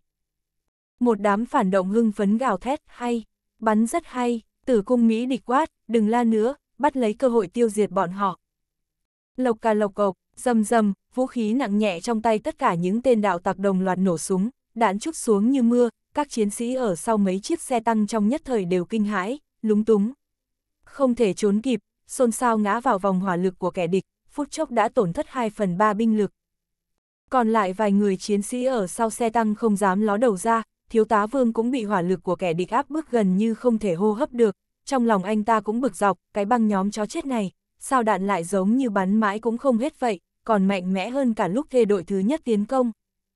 Anh ta không biết, kẻ địch ở bên trong tìm ra được kho vũ khí quân sự dự trữ, đã bổ sung rất nhiều vũ khí và đạn dược, chuyện này sai lệch so với dự đoán ban đầu. Hiện tại chỉ còn dư lại một chiếc xe tăng ZTZ-99, nhìn thấy hai, đồng đội của mình gặp phải trận đánh đau thương như thế, mà bản thân mình lại không thể nã pháo bắn trả, quan chỉ huy đặc biệt căn dặn vì để nhà máy hạt nhân an toàn, không thể khai pháo. Bản thân mình trơ mắt nhìn lại chỉ có thể bất lực, hai người lái xe tăng trong này tức gần như muốn thổ huyết. Tiếng súng hơi ngừng lại, thiếu tá vương nghe được âm thanh của tư lệnh hùng truyền tới qua bộ đàm, động động yêu, động động yêu, lệnh cho thê đội thứ hai rút lui, nhanh, những người còn lại nấp sau xe tăng, rút khỏi đó. Thiếu tá vương cũng chưa từng đánh trận nào bất lực như thế. Nhìn đồng đội bên cạnh lần lượt từng người ngã xuống, nhưng bản thân mình lại không thể nổ pháo đánh trả. Hiện tại nhìn thấy số lượng chiến sĩ thương vong hơn một nửa, không thể nào thực hiện được kế hoạch tiến công, còn có thể làm gì được. Chỉ có thể phục tùng mệnh lệnh, dẫn theo ba chiến sĩ còn dư lại nhờ vào sự che chắn của chiếc xe tăng cuối cùng, từ từ rút khỏi trận chiến. Trên đường rút lui, lại có thêm hai chiến sĩ bị bắn trọng thương nặng. Diệp Vô Phong đã mặc xong áo chống đạn, bắt đầu kiểm tra súng ống. Bạch Tinh Đồng cũng ở bên cạnh anh, nhìn Tổng chỉ huy Cục trưởng Cảnh sát, nói Cục trưởng, lần này tới lượt chúng tôi. Tư lệnh Hùng cũng đi tới, cầm chặt tay của Diệp Vô Phong, Vô Phong, lần hành động này không giống bình thường. Anh cũng nhìn thấy rồi, hai thê đội của chúng ta tiến công đều gặp thất bại nghiêm trọng, còn chết nhiều anh em như thế. Xem ra kẻ địch vô cùng hung tàn, hơn nữa bọn chúng tóm lấy uy hiếp chúng ta không thể sử dụng vũ khí hạng nặng. Lần trọng thương này vẫn phải để cậu đảm nhận rồi. Diệp Vô Phong giơ tay lên cúi chào, xin tư lệnh yên tâm, chúng tôi sẽ hoàn thành nhiệm vụ, thu phục đám côn đồ, giải cứu con tin.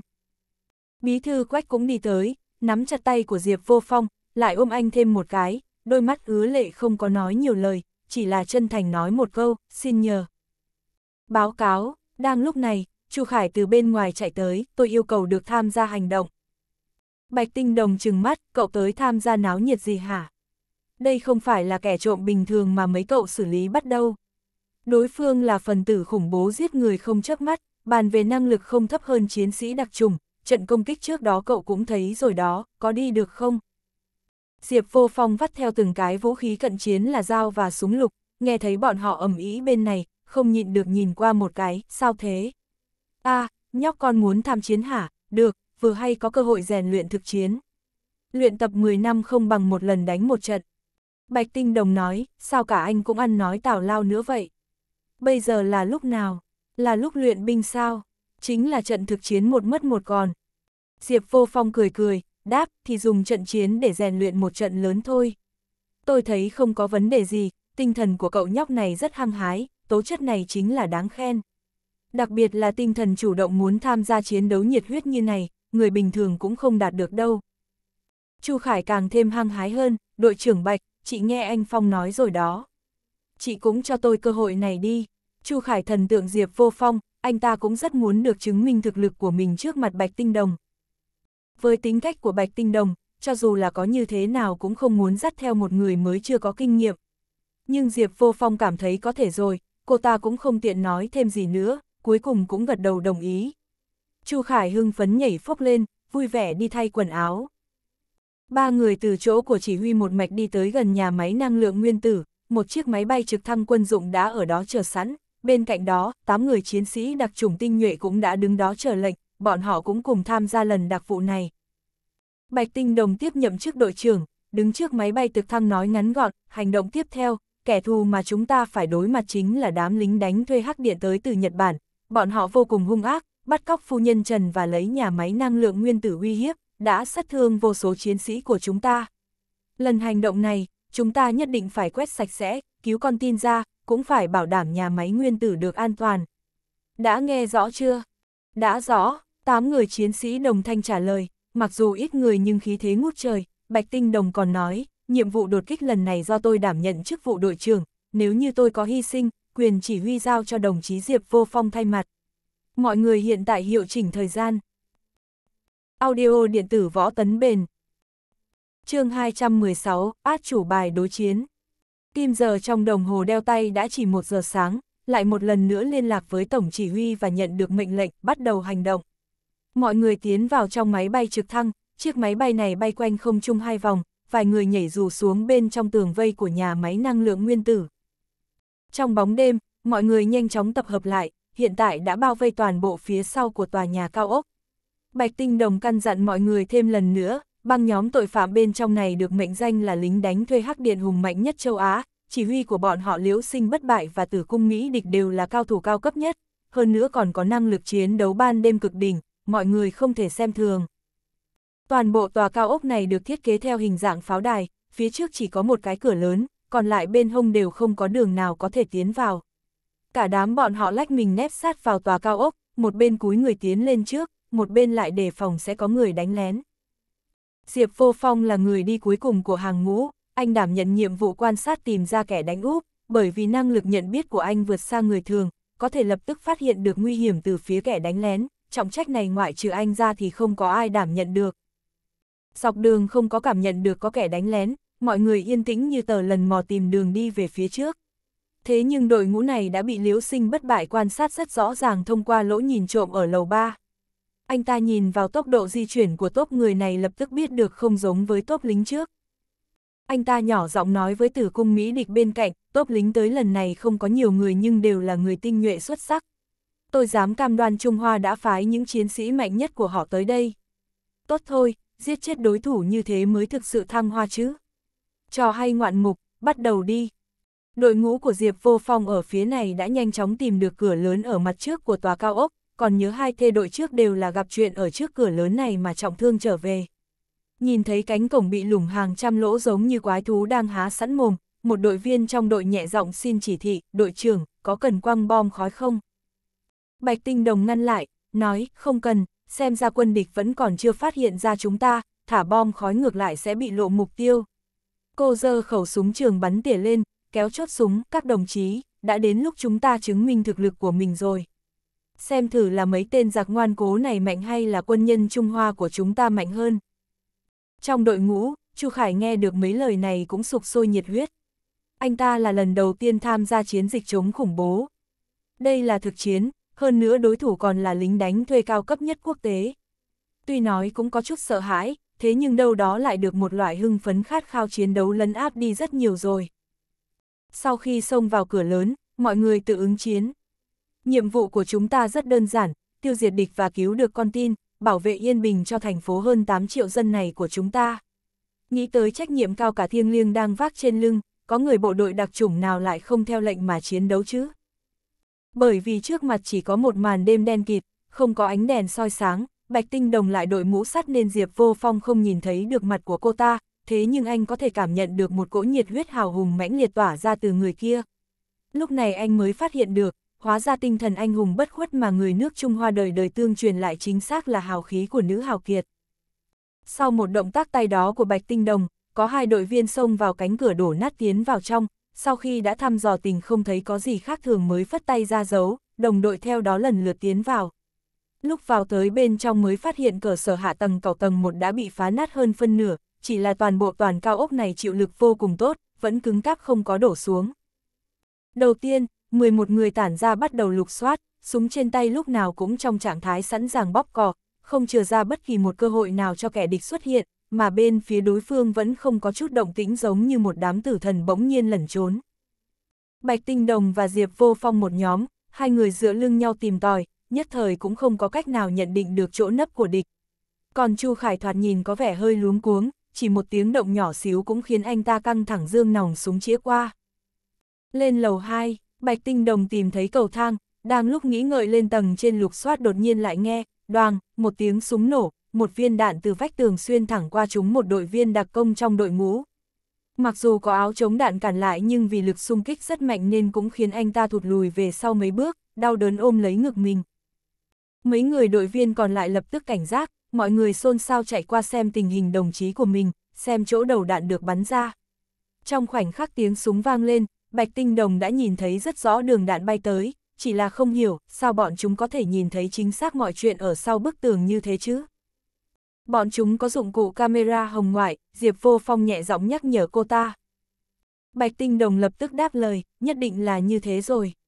Cô ta tức thì dùng bộ đàm nói với tất cả thành viên, tiểu đội chú ý, phần tử khủng bố có thiết bị camera hồng ngoại, chú ý lập tức di chuyển nhanh không được đứng yên. Cô ta biết, nếu như cả người bất động thì dù có nấp sau bức tường đi nữa, phía bên kia cũng sẽ đánh lén khóa chặt được mục tiêu. Cách ứng phó bây giờ chỉ có thể là di chuyển nhanh chóng và liên tục. Vì để đối phó với át chủ bài tinh duệ cuối cùng này, liễu sinh bất bại cũng đã có chuẩn bị đầy đủ. Trước tiên là cho tiểu đoàn đặc công kia vào trong tòa nhà, lợi dụng ưu thế về mặt địa hình, cộng với thiết bị nhìn đêm mà sẽ tiêu diệt hết toàn bộ lính đặc công đó. Anh ta phát hiện khóa mục tiêu đã nhắm đúng vào đầu của Diệp Vô Phong nằm bên trong tầm bắn. Nếu như là lúc bình thường, dựa vào năng lực nhận biết của mình, Diệp Vô Phong sẽ có thể cảm nhận được loại cảm giác nguy hiểm trong gang tấc như thế này mà lẩn tránh sớm. Nhưng hoàn cảnh hiện tại lại khác, khắp nơi chỗ nào cũng đều là nguy hiểm trùng trùng, anh thật sự không thể nhạy cảm phát giác được mình đang nằm trong tầm ngắm của liễu sinh bất bại. Ngôn tình nữ phụ, liễu sinh bất bại đang móc tay bóp cò súng, đột nhiên có một viên pháo sáng nổ, đoàng, một tiếng ở tầng 2, trong chớp mắt toàn bộ tầng 2 đều sáng lóe như tuyết, tạo thành một vùng sáng chói như thác nước. Loại cường độ ánh sáng mạnh như thế này khiến mắt người bình thường đều bị chói mù trong chớp nhoáng, mà đám người đeo thiết bị nhìn đêm trước mắt kia còn bị ảnh hưởng hơn gấp bội. Liễu sinh bất bại cũng không thoát khỏi tai nạn hàng không loại này, hai mắt gần như bị tình trạng đục nhân mắt, phía trước trống rỗng, tất cả mục tiêu đều biến mất hoàn toàn. Anh ta nhanh chóng thu người lại, sau đó lùi vào bên trong sự che chắn của đồng bọn, hung hăng mắng, đây là thứ quỷ gì vậy? Bạch tinh đồng nháy mắt nhu nhỏ con ngươi lại, đây là một cách để tự bảo vệ đôi mắt của mình trước ánh sáng mạnh bên ngoài, ngăn ngừa chuyện võng mạc bị tổn thương, đôi mắt của cô ta ngay sau đó đã khôi phục được vài phần thị lực. Cô ta nhanh chóng nấp sau một bức tường bị bể một nửa, thông qua bộ đàm hỏi ai ném pháo sáng. Chu Khải ngay sau đó tiếp lời cô ta, đội trưởng Bạch, là tôi. Bạch Tinh Đồng hơi tức giận, ai ra lệnh cho cậu hả? Sao lại tự ý phóng ra? Chu Khải gãi gãi đầu, có hơi áy náy, bình thường tôi cũng hay lên xem một vài trang web quân sự, trên đó có nói đến cách để đối phó với trường hợp trong đêm tối và phía bên địch có thiết bị nhìn đêm. Vừa nãy nghe cô nói đối phương có trang bị thiết bị nhìn đêm, tôi căng thẳng lên mới ném pháo sáng ra. Lần đầu tiên tham gia chiến dịch trọng đại như thế này, Chu Khải cũng không thể tránh việc có chút sốt sắng, nhưng lần này giống như chó ngáp phải ruồi, thật sự đã thật hủy đi thiết bị nhìn đêm của đối phương rồi. Hơn nữa, có hai tên phần tử khủng bố đã bị mù luôn rồi, sức chiến đấu đã giảm đi rất nhiều. Diệp Vô Phong đi tới đưa ngón trỏ làm động tác lai like về phía Chu Khải, đồng chí tốt, làm khá lắm, công lớn đó. Anh chỉ là đang khen ngợi Chu Khải, lại không ngờ rằng đối phương đã cứu anh một mạng. 5 giây sau, các đội viên nhóm đặc công đã bắt đầu khôi phục lại thị lực, nhưng đám phần tử khủng bố kia lại phải mất thêm 3, 4 giây sau đó mới có thể nhìn thấy được. Bọn chúng sợ phải gặp thêm ánh sáng mạnh, dứt khoát ném thiết bị nhìn đêm đang đeo trên đầu bỏ đi. chương 217, cứu rỗi sống chết. Liễu sinh bất bại cũng dần dần nhìn rõ lại được sự vật, mắng, đáng chết, còn có đồ chơi nặng đô. Toàn thể chú ý, bọn chúng đã xông tới rồi, nổ súng cho tôi.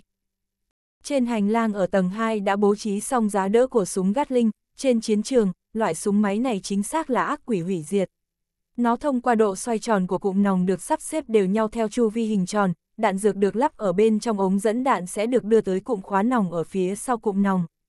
Nòng súng được cấu tạo với 6 ống thép dài, tốc độ bắn mỗi phút là 200 viên đạn. Điều khiển loại siêu súng Gatling này chính là hắc điện số 6. Súng Gatling phát ra một âm thanh quỷ dị, lập tức phun ra, sự cuồng dã, vốn có của nó. Từ trên tầng 2, một cơn mưa đạn lóe mắt kéo theo một đường đạn bay lóe lên ánh sáng màu xanh lục xối ảo ạt xuống dưới. Đám người của Diệp Vô Phong khôi phục được thị lực trước đám phần tử khủng bố này 3-4 giây, mà chính là khoảng thời gian 3-4 giây đó đã trở thành khoảnh khắc cứu mạng bọn họ. Vừa nhìn thấy súng máy được bố trí, bọn họ đã lập tức nhảy vọt sang chỗ khác tránh đi. Bạch Tinh Đồng trốn ở bên dưới của cầu thang, Diệp Vô Phong lại nhảy lên trên bệ cửa sổ, cả người treo lơ lửng ở bên ngoài. Bạch Tinh Đồng bị đạn áp chế hông ngóc đầu lên nổi, khoảnh khắc nhìn thấy cầu thang sắp bị sập xuống, Diệp Vô Phong treo một tay bên cửa sổ, tay còn lại cầm lấy súng bóp cỏ bắn một phát. Anh không nhìn thấy vị ví của người đang xả súng kia, chỉ là dùng trực giác mà bắn tới, viên đạn theo phát bắn kia ghim vào chính giữa vầng trán của hắc điện số 6. Tiếng súng ngưng lại ngay tức khắc. Bạch tinh đồng từ bên dưới cầu thang tầng dưới nhảy phốc lên trên tầng 2, cô ta nắm lấy khẩu gắt linh kia, kiều diễm một tiếng liền thay đổi hướng của nòng súng, bắt đầu bắn quét về hướng ở tầng 2. Cùng một loại vũ khí, ai nắm giữ được trong tay thì đều sẽ là ác mộng của bên phía còn lại. Tử cung Mỹ địch nhìn thấy hắc điện số sau bị bắn hạ, trong lòng không người đau xót. Lúc này lại bị bạch tinh đồng xả một trận mưa đạn khiến cô ta căm hận khôn nguôi, sau đó thông qua bộ đàm nói với tay đánh lén ở tầng 3, bắn chết tay súng ở hành lang tầng 2 kia. Hắc điện số 9 là tay đánh lén ở tầng 3, nhất thời chưa phản ứng kịp, tư lệnh, tay súng kia không phải là người của mình hay sao? Mẹ nó, bây giờ là kẻ địch đó, bắn chết ả cho tôi. Hắc điện số 9 không quan tâm tới mệnh lệnh của cô ta, trong lòng còn đang nghi hoặc xảy ra chuyện gì vậy. Hắc điện số 6 làm phản rồi sao? Mình phải bắn chết người đồng đội đầu tiên của mình à? Có phải mình nghe lầm rồi không? Gã ta ở tầng 3 ló người ra quan sát tình hình phía dưới, ngờ đâu chỉ vừa mới ló ra một chút đã nghe, đùng, một tiếng nhẹ nhàng vang lên, phía ngực của hắc điện số 9 đã ghim một viên đạn. Diệp Vô Phong lại bóp cò bắn thêm một phát súng. Hắc điện số 9 lúc chết rồi mới biết được đã xảy ra chuyện gì, ngã xuống từ lầu 3. Nội viên của Hắc điện liên tiếp bỏ mạng, Liễu Sinh bất bại ý thức được nếu cứ tiếp tục đánh thì bản thân anh ta cũng khó giữ mạng được. Tiểu dội đặc công này thật sự quá mạnh, anh ta đành phải ra lệnh, Mỹ địch, chúng ta rút lui. Đến lò phản ứng hạt nhân đi, cùng lắm thì chết chung. 5-6 phút qua đi, Bạch Tinh Đồng đã bắn hết toàn bộ đạn trong súng Gatling, cô ta kiểm tra lại hiện trường ở tầng 2 phát hiện có vài thành phần khủng bố hắc điện đã bị bắn chết, xác bị bắn thành mảnh nhỏ, lại không nhìn ra được cuối cùng đã chết mấy người. Cô ta lên tầng 3 lục soát lại phá hiện có thêm hai cái xác nữa, chỉ là không tìm thấy được bóng dáng của liễu sinh bất bại, tử cung Mỹ địch và văn tam đa đâu cả. Bạch Tinh Đồng cho tập hợp lại đội viên, nhìn thấy ngoại trừ một đồng đội đã hy sinh ra thì còn có hai người khác đang bị thương, tuy không nguy hiểm đến tính mạng nhưng cũng đã bị thương không nhỏ. Cô ta bảo Chu Khải ở lại chăm sóc cho hai người bị thương và liên lạc với bộ chỉ huy, còn mình và Diệp Vô Phong dắt theo những đội viên khác đi ra bên ngoài tòa cao ốc, lục soát xung quanh. Máy bay trinh sát ở trên không gửi tin tới, có 5 phần tử khủng bố đã thả dây thường trốn thoát từ trên mái nhà, xem ra là muốn đi xuống dưới đất chỗ lò phản ứng hạt nhân. Sau khi nhận được tin, Bạch Tinh Đồng và Diệp Vô Phong lập tức sát đồng đội đuổi theo, bọn họ băng qua từng dãy nhà xưởng tới một lối đi xuống lòng đất, cửa đã bị khóa trái bên trong. Bạch Tinh Đồng giơ súng lên bắn vỡ khóa cửa, cả đám từ phía trên chui xuống dưới. Đi qua một đoạn đường hầm rất dài tới một cánh cửa ngoài sảnh, vốn dĩ có thể nhận định được kẻ địch đang ở bên trong, thế nhưng cũng không biết người đang mai phục ở chỗ nào, nếu cứ xông vào liều lĩnh vậy khả năng gặp nguy hiểm rất sẽ rất cao. Bạch Tinh Đồng ngoắc tay gọi một người đội trưởng qua tới, vác hai khẩu súng phóng lựu lên, sửa lại trị số độ lệch của đường đạn rồi bắn. Hai âm thanh, phốc phốc, vang lên, hai quả lựu đạn xuyên qua cửa sổ thủy tinh, vọt vào bên trong đại sảnh. Sau khi vào bên trong, hai quả lựu đạn nổ ra một lớp khói dày đặc, càng lúc càng dày lên theo âm thanh vang, xì xì của nó. Đây là loại lựu đạn khói có tác dụng làm thần kinh tê liệt. Khói thuốc bên trong nó có thể phủ được phạm vị trên dưới 200 mét vuông trong vòng 10 giây, người hít phải khói thuốc này quá 15mA sẽ gây ảnh hưởng tới hệ thần kinh sản sinh ra cảm giác tê liệt mãnh liệt, thậm chí có thể khiến người đó bị choáng. Đại sảnh này vốn dĩ là không gian kín, hiệu quả của loại khí độc này càng được phát huy tốt hơn. Từng luồng khí màu trắng độc lan tràn ra ngoài bao phủ xung quanh, không gian nhìn giống như trốn tiên cảnh, nhưng thực chất lại cực kỳ nguy hiểm. 10 phút sau, Bạch Tinh Đồng nhìn thấy bom khói đã phát huy đủ tác dụng mới ra lệnh, đeo mặt nạ phòng độc, sẵn sàng, tiến lên. Cô ta đạp một cước lên cửa sảnh, tiến vào trong. Khói thuốc lúc này đã tản dần đi, có thể nhìn thấy rõ ràng những ống dẫn ở sát vách tường, từng cái từng cái máy móc nổ vang ở trong phòng, chỉ là không có bóng người nào. Những phần tử khủng bố kia đã đi đâu hết cả rồi. Có phải là chúng ta tìm lộn chỗ rồi không? Đội viên đặc công cầm súng canh gác ở xung quanh chỉ cảm nhận được một loại linh cảm chẳng lành, cả đám ở đây chia ra hai người một nhóm, lưng dính sát lưng nhau hành động, lần lượt tiến vào trong giò tìm. Đột nhiên, ngay chính giữa nóc căn phòng giống như mặt trời bị nổ, đùng, một tiếng lan ra một luồng ánh sáng cực mạnh, bao trùm cả đại sảnh bằng một vùng sáng lóe mắt, đội viên nhóm đặc công nhất thời bị mất thị lực bởi tia sáng chói mắt đó. Thật chó chết, đây thực sự là ăn miếng trả miếng mà. Vừa nãy ở bên trong tòa cao ốc, Chu Khải dùng pháo sáng đối phó với kẻ địch, bây giờ thì đến lượt bọn chúng trả đũa lại bọn họ. Đôi mắt không nhìn thấy được kéo theo đại não cũng nhất thời mất cảm giác, cả người cũng bị sướng sốt tại chỗ. Xoẹt xoẹt, có tiếng của lưỡi dao phát ra, trong chớp mắt lại nghe có tiếng kim loại va chạm vào lớp áo chống đạn, tiếng gào thét của những người bị chém chúng cũng đồng thời vang lên. Đám phần tử khủng bố kia né qua bom khói, lại dùng pháo sáng phản kích lại. Bọn chúng nhìn thấy đội viên nhóm đặc công không mở mắt nổi, bên này đeo mặt vào cầm dao lao tới. Bây giờ tất cả gần như là dựa vào thính giác cùng kinh nghiệm tác chiến của mình mà hành động loạn xạ vật lộn giữa sự sống và cái chết. Trong chớp mắt, máu thịt bắn tung tóe, khung cảm ở đại sảnh lúc này chẳng khác nào địa ngục trần gian. Qua đi tầm 3 phút, hiệu quả của pháo sáng biến mất, tất cả mọi người từ từ mở mắt ra nhìn, trên đất xác chết nằm ngổn ngang, Bạch Tinh Đồng kiểm tra lại tình hình thương vong của tiểu đội, hy sinh mất ba người. Mà phía của Liễu Sinh bất bại thì ngoại trừ Văn Tam Đa đang bị thương nặng ra, đám phần tử khủng bố còn lại đã chết hết rồi. Diệp Vô Phong phía này đang cầm dao găm chĩa vào ngực của Liễu Sinh bất bại, còn người kia lại đang kề thanh kiếm dài ở trên cổ của Bạch Tinh Đồng. Tất cả đứng im, Văn Tam đa nằm trên đống thi thể, đột ngột giơ tay phải lên, đây là thiết bị kích nổ bom. Tao chỉ cần nhấn tay một cái thì tất cả đều xong đời. Anh ta vừa nói xong câu đó, miệng cũng phun một ngụm máu. Lúc này, tử cung Mỹ địch lôi theo phu nhân Trần từ trong phòng ra ngoài, đội trưởng Bạch, chúng ta lại gặp nhau rồi. Cô cảm thấy bọn cô thắng rồi chắc, phu nhân Trần của mấy người còn nằm trong tay chúng tôi, thiết bị kích nổ cũng nằm trong tay chúng tôi. chương 218, Cục diện rối rắm. Liễu sinh bất bại hạ lưỡi kiếm trong tay xuống thấp một chút, cười lạnh nói, mày chính là Diệp Vô Phong. Nghe nói mày tài giỏi lắm, đàn em tâm đắc nhất của tao cũng chết trong tay mày, có đúng vậy không? Diệp Vô Phong nhìn thẳng vào mắt ông ta, ồ, chúng ta còn có thù hận như thế sao? Ông nói ông muốn lấy đầu của tôi như thế. Được thôi, tôi tới đưa cho ông lấy, nhưng mà, còn phải xem ông có đủ bản lĩnh lấy đi hay không đã. Liễu sinh bất bại cười như điên, đáp chú em, chưa từng có ai dám khiêu khích ở trước mặt tao đâu. Nếu không phải vì bọn mày dùng chiêu trò, tao cũng đã duỗi tay vặn đầu mày xuống rồi, dùng thành ngữ của đám Trung Hoa tụi bây là, dễ như trở bàn tay, đó. Được, nếu là ân oán giữa chúng ta thì đừng làm liên lụy tới người khác. Thế này đi, hôm nay chúng ta thanh toán hết mọi thứ ở đây. Nếu ông có thể đánh thắng tôi thì cứ lấy đầu của chúng tôi mang đi, nhà máy năng lượng nguyên tử cũng cho anh tùy ý kích nổ. Còn nếu thua, ông phải nghe theo cách giải quyết của tôi, cũng đừng tiếp tục khua môi múa mép tự xưng là binh vương đệ nhất châu Á gì gì đó nữa, sẽ bị người khác chê cười đó.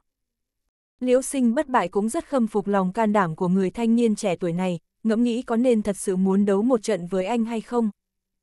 Diệp vô phong phía bên này khẽ nhếch miệng, diếu cợt còn tự xưng là binh vương này nọ, tôi thấy chẳng qua cũng chỉ là một tên thỏ đế tự biên tự diễn mà thôi. Liễu sinh bất bại cười lớn một tiếng, được, tao sẽ cho mày một cơ hội để khiêu chiến, cho mày tâm phục khẩu phục mà chết. Nhưng mà, ông ta cũng đưa ra một điều kiện của mình, để cho tử cung Mỹ địch đi trước, hai chúng ta một đấu một. Sư thúc, tôi không thể đi, tử cung Mỹ địch cũng cảm thấy rất hổ thẹn với liễu sinh bất bại, dù sao cũng chính cô ta dắt ông ta tới Trung Hoa này. Bây giờ toàn bộ thành viên của Hắc Điện cũng đã bỏ mạng ở đây, chỉ có mình cô ta rời khỏi nơi này cũng khiến trong lòng thấp thỏm không yên. Liễu sinh bất bại nói, cô đi đi, số tôi lớn như vậy đương nhiên sẽ sốt sót ra ngoài. Còn nếu tôi chết, cô phải tiếp tục dẫn dắt Hắc Điện, mấy anh em vẫn đang tìm cô tìm đường sống, đi mau. Tử cung Mỹ định ôm theo phu nhân Trần đi ra ngoài, hai người đội viên đặc công chĩa súng, chặn trước đường đi của cô ta. Bạch Tinh Đồng đẩy lưới kiếm của Liễu Sinh bất bại ra, đi tới ra hiệu cho đồng đội, để cô ta đi trước đi. Sau đó, tự mình cũng đi ra theo. Diệp Vô Phong thu lại cây dao găm vào bên hông, nhìn Liễu Sinh bất bại nói, tôi nể ông lớn tuổi hơn, cho ông tùy ý định đoạt cách thức và địa điểm thi đấu. Liễu Sinh bất bại nói, được, vậy chúng ta cùng nhau đánh một trận chính thức ra trò. Đi theo tôi, nói xong, ông ta cầm súng bắn tỉa của mình đi theo ra khỏi tầng hầm. Ông ta muốn nhìn tử cung Mỹ địch rời đi an toàn. Văn Tam đa đỡ lấy cơ thể bị thương nặng của mình cũng đi ra theo liễu sinh bất bại, anh ta tìm một góc nhà ngồi xuống ở đó, trên mặt nở nụ cười lạnh, ngón tay không hề rời khỏi thiết bị kích nổ. Toàn bộ nhà máy năng lượng hạt nhân này đã bị quân đội Trung Hoa bao vây chặt chẽ, còn có máy bay giám sát ở trên không, lúc này đến cả một con chim sẻ cũng không lọt ra bên ngoài được. Nhưng Bạch Tinh Đồng đã thông báo với bộ đội đang chờ ở bên ngoài, không có mệnh lệnh của mình thì không được phép nổ một phát súng. Liễu sinh bất bại nhìn thấy tử cung Mỹ địch áp chế phu nhân Trần đã vượt qua được tường vây. Người kia lướt qua lớp phòng tuyến thứ nhất, lướt tiếp đến lớp thứ hai, cho tới lúc vượt qua được lớp thứ ba, ông ta mới yên lòng nhìn thẳng vào mắt Diệp Vô Phong nói, ôn rồi, bây giờ tới lượt chúng ta chấm dứt.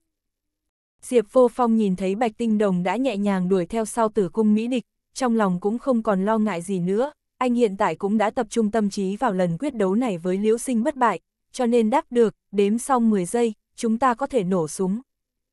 Hai người đồng loạt xoay người đối lưng với nhau, đi về ngược về phía đối phương, tất cả mọi người đều đang thầm đếm, 1, 2, 3, 8, 9, 10. Hai người gần như là xoay người cùng lúc, đồng thời nổ súng, cũng đồng thời làm ra một thế tránh né tuyệt đẹp, chia nhau ra tìm chỗ nấp tốt. Lúc này đã là 4 giờ sáng hơn rồi, bầu trời đã hừng sáng lên. Chiến sĩ mai phục ở xung quanh đều đang sốt sáng nhìn chằm chằm vào chiến trường quyết đấu của hai người. Kỹ thuật bắn súng cùng động tác tránh né của bọn họ thật sự đều giống hệt với tư thế mẫu trong sách giáo khoa. Hiệp 1, mặc dù cả hai đều không bắn trúng đối thủ, nhưng thế bắn xạ kích, tốc độ phản ứng nhanh nhạy như chớp cùng với những động tác tránh né lưu loát sinh động khiến vài người huấn luyện viên nhịn không được vỗ tay, điểm tối đa. Chỗ nấp của Diệp Vô Phong là một cột trụ đó bị gãy nửa đoạn, liễu sinh bất bại lại là một vách tường đá loang lổ vết nứt. Cả hai đều đang kiểm tra lại súng ống của bản thân, cách nhau độ chừng 300 mét. Đối với một tay súng bắn tỉa cừ khôi mà nói, chỉ cần có một chút sai phạm nhỏ trong phạm vi này đều sẽ bị đối thủ rình giết. Diệp Vô Phong trốn ở sau trụ đá, vừa định quan sát tình hình của đối phương một chút thì một viên đạn đã bay tới đâm vào mép trụ đá một đường nứt chừng 5cm. Dựa vào dấu vết của đầu đạn để lại, anh lập tức nhận ra đạn mà đối thủ sử dụng, đây là một loại đạn xuyên giáp ngòi thép. Mà bản thân anh hiện tại nấp phía sau trụ đá lớn, cột trụ này đường kính 70cm chất liệu từ đá cẩm thạch, nhưng vì hình dạng cột trụ bóng loáng nên khi quỷ đạo đạn bắn vào sẽ bị lệch hướng, vì thế bản thân anh nấp phía sau lúc này vẫn an toàn. Cả hai người hành động đều rất cẩn trọng, không hề lỗ mãng thiếu suy nghĩ. Chỉ cần có một chút sai phạm nhỏ thôi cũng có thể khiến đối thủ chú ý, nắm lấy cơ hội mà đánh úp mình. Không gian tĩnh lặng như chết, ai cũng đều nhẫn nại vào trận tỉ thí này. Nhưng mà cứ mãi dây dưa như thế cũng không phải là kế hoạch dài lâu, Diệp Vô Phong nhặt lên một mảnh thủy tinh vỡ kẹp ở trên miệng súng, đưa ra thăm dò hành tung của đối phương. Đùng, một tiếng, một viên đạn bắn thẳng vào giữa súng của anh. Súng trong tay bị bật ra phía xa chừng 5, 6 mét. Tay của Diệp Vô Phong bị tê dại, không khỏi mắng thầm trong bụng, mẹ kiếp, tên cáo giả này thật quái gở, sao ông ta có thể thấy được mình chứ? Thật ra liễu sinh bất bại là tận dụng ưu thế vốn có, chỗ nấp của ông ta là vách tường bị thủng vài lỗ đạn, ông ta có thể thông qua những lỗ đạn đó nhìn thấy được động tĩnh bên này. Mà Diệp Vô Phong nấp phía sau cột trụ đá dày cứng, cho nên không có ưu thế như vậy. Phải nói kỹ thuật bắn súng của Liễu Sinh bất bại quả nhiên vượt quá mức thần kỳ, khoảng cách xa 300 mét, một súng bắn trúng nòng súng của anh, chớp mắt giật lấy ưu thế.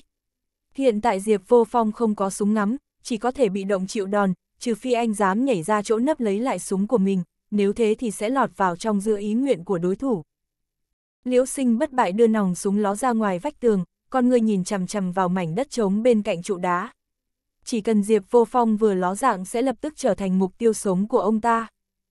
Nhưng Diệp Vô Phong cũng không có hành động, thời gian trôi qua từng phút, liễu sinh bất bại cảm giác đôi mắt của mình có hơi phình ra, cố nhìn chăm chăm hơn 3 phút nữa cũng không thấy Diệp Vô Phong đi ra. Ông ta quát một tiếng, đồ thỏ đế, không dám ra mặt, tao cũng có thể bắn chết mày.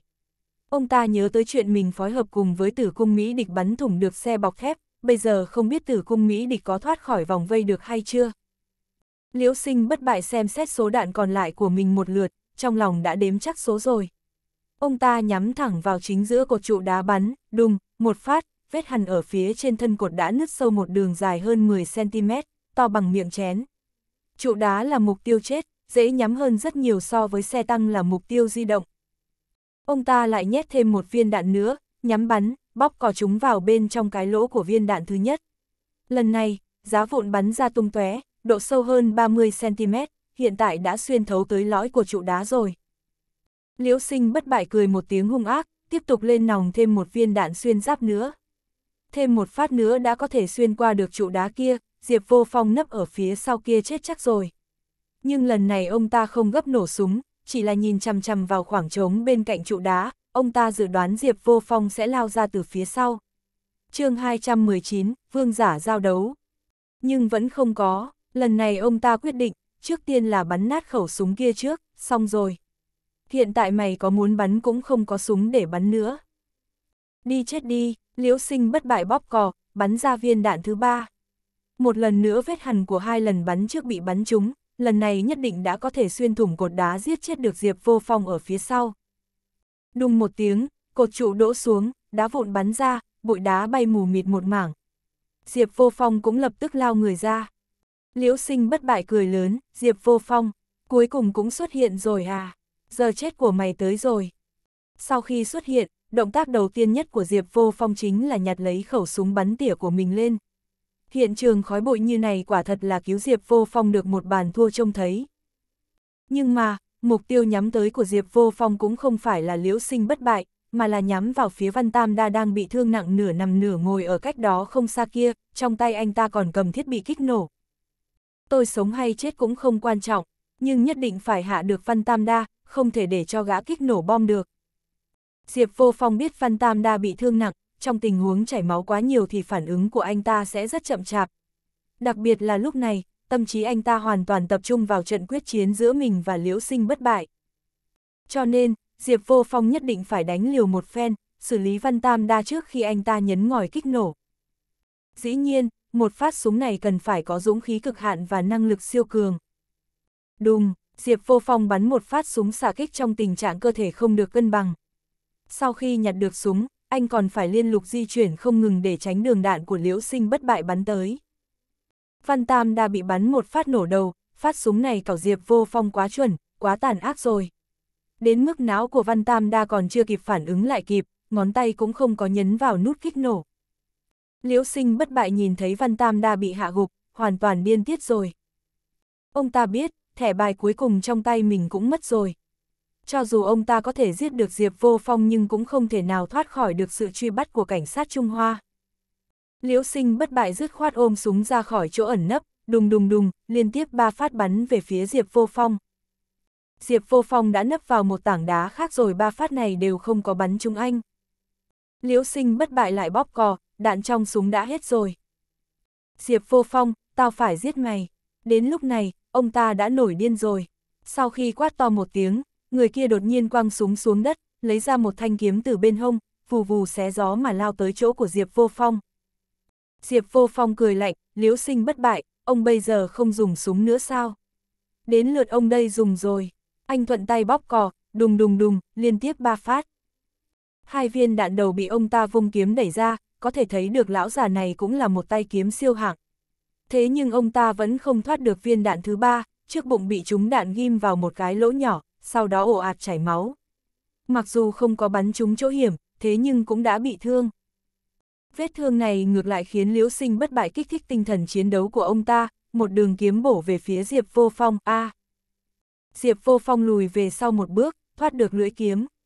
Anh ném súng bắn tỉa đi, rút dao găm bên hông, cúi sổm người xuống nhìn vào mắt của tên quái dị này, đã bị bắn trúng rồi vẫn có thể hung hăng được như vậy, quả nhiên là không tầm thường. Cảnh sát lúc này đã tới bao vây xung quanh, cục trưởng thạch thoáng nhìn tình hình của chiến trường ở đây, ra lệnh không được nổ súng, tránh bắn trúng người của mình. Tôi tin tưởng Diệp Vô Phong có thể kiểm soát được tình thế. Liễu sinh bất bại có hung hăng tới đâu thì cơ thể cũng vẫn là xác thịt bình thường, ông ta cắm cây kiếm xuống đất, lấy quần áo bọc lấy vết thương, sau đó siết chặt thắt lưng lại một chút. Nếu không thì chỉ cần đứng bất động, máu cũng có thể tuôn ra tới hết sạch. Diệp Vô Phong đặt tay phải đang cầm dao sau lưng, tay trái chỉ vào liễu sinh bất bại, ông đã thua rồi, đánh tiếp nữa còn có ý nghĩa sao? Liễu sinh bất bại hai tay cầm kiếm xoay ngang, đặt ở trước ngực, tao vẫn chưa ngã xuống, mày còn chưa chết, dĩ nhiên là phải đánh. Giết, ông ta nói xong liền bước nhanh về phía trước, kiếm trong tay múa vài đường, xoẹt đường qua vai hung hăng chém tới.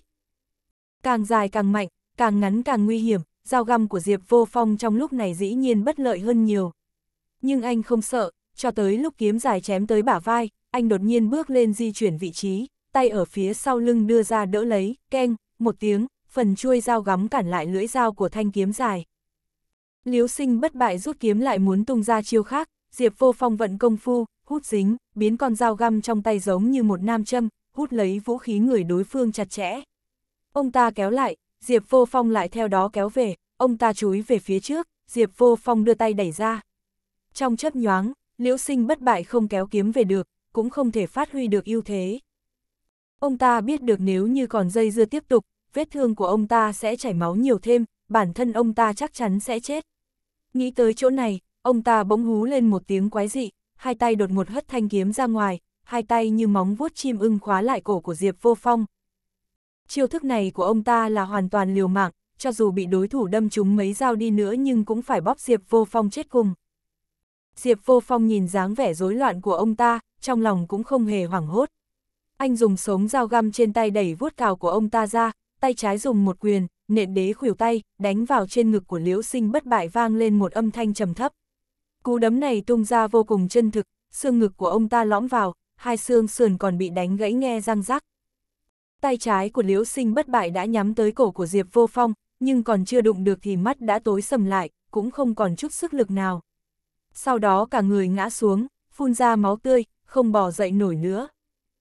Tử cung Mỹ địch ôm theo một người nữa dưới eo nhưng cũng không có ảnh hưởng tới tốc độ chạy trốn của cô ta, thừa dịp trời còn chưa sáng hẳn vẫn cứ một mạch chạy hướng ra phía biển. Cạnh bên vách núi đã chuẩn bị một con thuyền sẵn đó, nhìn thấy có ánh đèn lấp lóe, đó chính là ám hiệu của bọn họ. Trong lòng mừng rỡ, cô ta chạy tới bờ biển nổ hai phát súng chỉ thiên, ngay lập tức đã có một chiếc thuyền lái qua chỗ bờ bên này. Tử cung Mỹ địch ôm bà chủ từ lên thuyền, ra lệnh nhanh lái thuyền. Chiếc thuyền nhanh chóng xoay nửa vòng tròn, chạy hướng ra ngoài phía biển. Vừa mới lái còn chưa được quá 1.000 mét đã nghe tới hai tiếng súng nổ vang giữa không trung. Tên thuộc hạ đang lái thuyền bị ăn một phát vào đỉnh đầu, nằm sóng xoài trên bánh lái bất động. Bầu trời truyền tới tiếng máy bay trực thăng, Bạch Tinh Đồng ở trên chiếc máy bay Z01 kia giơ súng quát lên, con quỷ cái, cô chạy không thoát đâu. Tử cung Mỹ địch giơ súng lên bắn trả, phu nhân Trần nhìn thấy có người tới cũng dốc sức giấy ruộng, hành động này khiến cho người kia bị lệch kỹ thuật, bắn mấy phát lên trời nhưng không có trúng Bạch Tinh Đồng, chỉ trúng vào tấm thép bọc bảo hộ phía ngoài của máy bay. Bạch Tinh Đồng ra lệnh cho người điều khiển, giảm độ cao xuống chút. Máy bay dần hạ thấp xuống, Bạch Tinh Đồng từ trên đó trực tiếp nhảy xuống thuyền, cô ta giơ súng về phía tử cung Mỹ địch, cô không chạy thoát đâu, mau đầu hàng, thả phu nhân trần ra. Tử cung Mỹ địch nhìn rõ ràng, hóa ra người đuổi tới là Bạch Tinh Đồng. Nhìn hàng lông mày thanh tú cùng đôi mắt xinh đẹp nhưng có chứa sự tức giận, trong lòng tử cung Mỹ địch lại dấy lên một đợt sóng. Lần trước đấu một trận ở nhà máy hóa chất, Bạch Tinh Đồng bị trói lại, nữ ma đầu biến thái này lại dấy lên ham muốn. Cô ta thoáng nhìn Bạch Tinh Đồng, tôi còn tưởng là ai. Hóa ra là cô, chỉ với bản lĩnh của cô mà đánh thắng tôi được sao? chương 220, cứu viện trên nước. Bạch Tinh Đồng cũng biết thực lực của mình kém hơn đối phương rất nhiều, nhưng vẫn cắn răng nói, cô đừng có mà mạnh miệng khoác lác, ngẩng đầu nhìn đi, máy bay trực thăng của chúng tôi đã bao vây cô rồi, tàu tuần tra của chúng tôi cũng sẽ tới nhanh thôi, cô chạy không thoát đâu. Tử cung Mỹ địch cười ha hả, cô nói đúng được một nửa rồi, nếu như là một mình tôi thì sẽ không thoát được dễ dàng. Nhưng mà, có hai người các người ở đây, tôi nghĩ cũng dễ đó. Cô ta đang nói, đột nhiên buông phu nhân trần ra, lập tức cầm dao đâm về phía của Bạch Tinh Đồng. Thân tàu lắc lơ một cái, Bạch Tinh Đồng bắn hai phát nhưng đều không trúng đối thủ, động tác của tử cung Mỹ địch thật sự quá nhanh, chỉ thoát cái đã tiếp cận được cô ta. Người kia vung chân lên đá, khẩu sung lục trong tay của Bạch Tinh Đồng rơi xuống biển. Bạch Tinh Đồng vung chân đá lại bị người kia tóm được mắt cá chân, kéo trở về. Bốp một tiếng, người phía trước hai chân giang rộng, ngã sấp ở trên khoang thuyền. Tử cung Mỹ địch kề dao vào cổ của Bạch Tinh Đồng, sao hả, cô em? Có phục hay không? Hai chiếc trực thăng đang bay phía trên thuyền, chiến sĩ ở trên nói to, người bên dưới nghe đây, mau chóng đầu hàng. Nếu không thì chúng tôi sẽ nổ súng. Tử cung Mỹ địch không hề nao núng, ngu xuẩn, có gan thì nổ súng đi. Một sao sao sao bà chủ, một đội trưởng hình cảnh đều đang ở đây, có gan thì bọn bay bắn nổ thuyền tao đi. Người trên máy bay trực thăng cũng nhìn thấy được trong tay cô ta có con tin, không dám tùy tiện nổ súng, chỉ có thể lượn lờ quanh thuyền bất động. Tử cung Mỹ địch trói bạch tinh đồng lại, bảo hai cái, con ruồi, đáng ghét kia cút ra xa hơn một chút, tránh làm phiền tới tôi. Chém mỗi người một dao, ném xuống biển. Bạch tinh đồng nhìn dáng vẻ hung ác kia của tử cung Mỹ địch, trong lòng cô ta cũng sợ người này trong lúc nhất thời tức giận sẽ làm phu nhân Trần bị thương, bình tĩnh nói tôi thấy cô mới là người ngu xuẩn thật sư. Cô đắc nép phu nhân Trần để uy hiếp bọn họ, vốn dĩ là không có tác dụng. Tử cung Mỹ địch đạp một cái vào mông của người kia, còn ở đó mạnh miệng, cô nói thử xem, sao lại không thể. Bạch tinh đồng mắng thầm trong bụng, nhưng ngoài mặt vẫn không có biểu hiện gì, lạnh lùng nói, cô xem thử bây giờ còn có mấy người đàn ông quan tâm tới vợ của mình nữa chứ. Đặc biệt là những người có chức vụ cao cấp đó, ai lại không mong cho vợ mình xảy ra chút chuyện đâu. Có ý gì? Bạch Tinh Đồng cười lạnh nói, vợ chính thức không xảy ra chuyện, vậy tình nhân làm sao có thể thay thế được? Chuyện này cũng không hiểu, không phải ngu xuẩn thì là gì? Quả thật, mấy ông tai to mặt lớn trong cái xã hội này, có mấy ai mà không muốn đổi nhà, đổi xe, đổi vợ.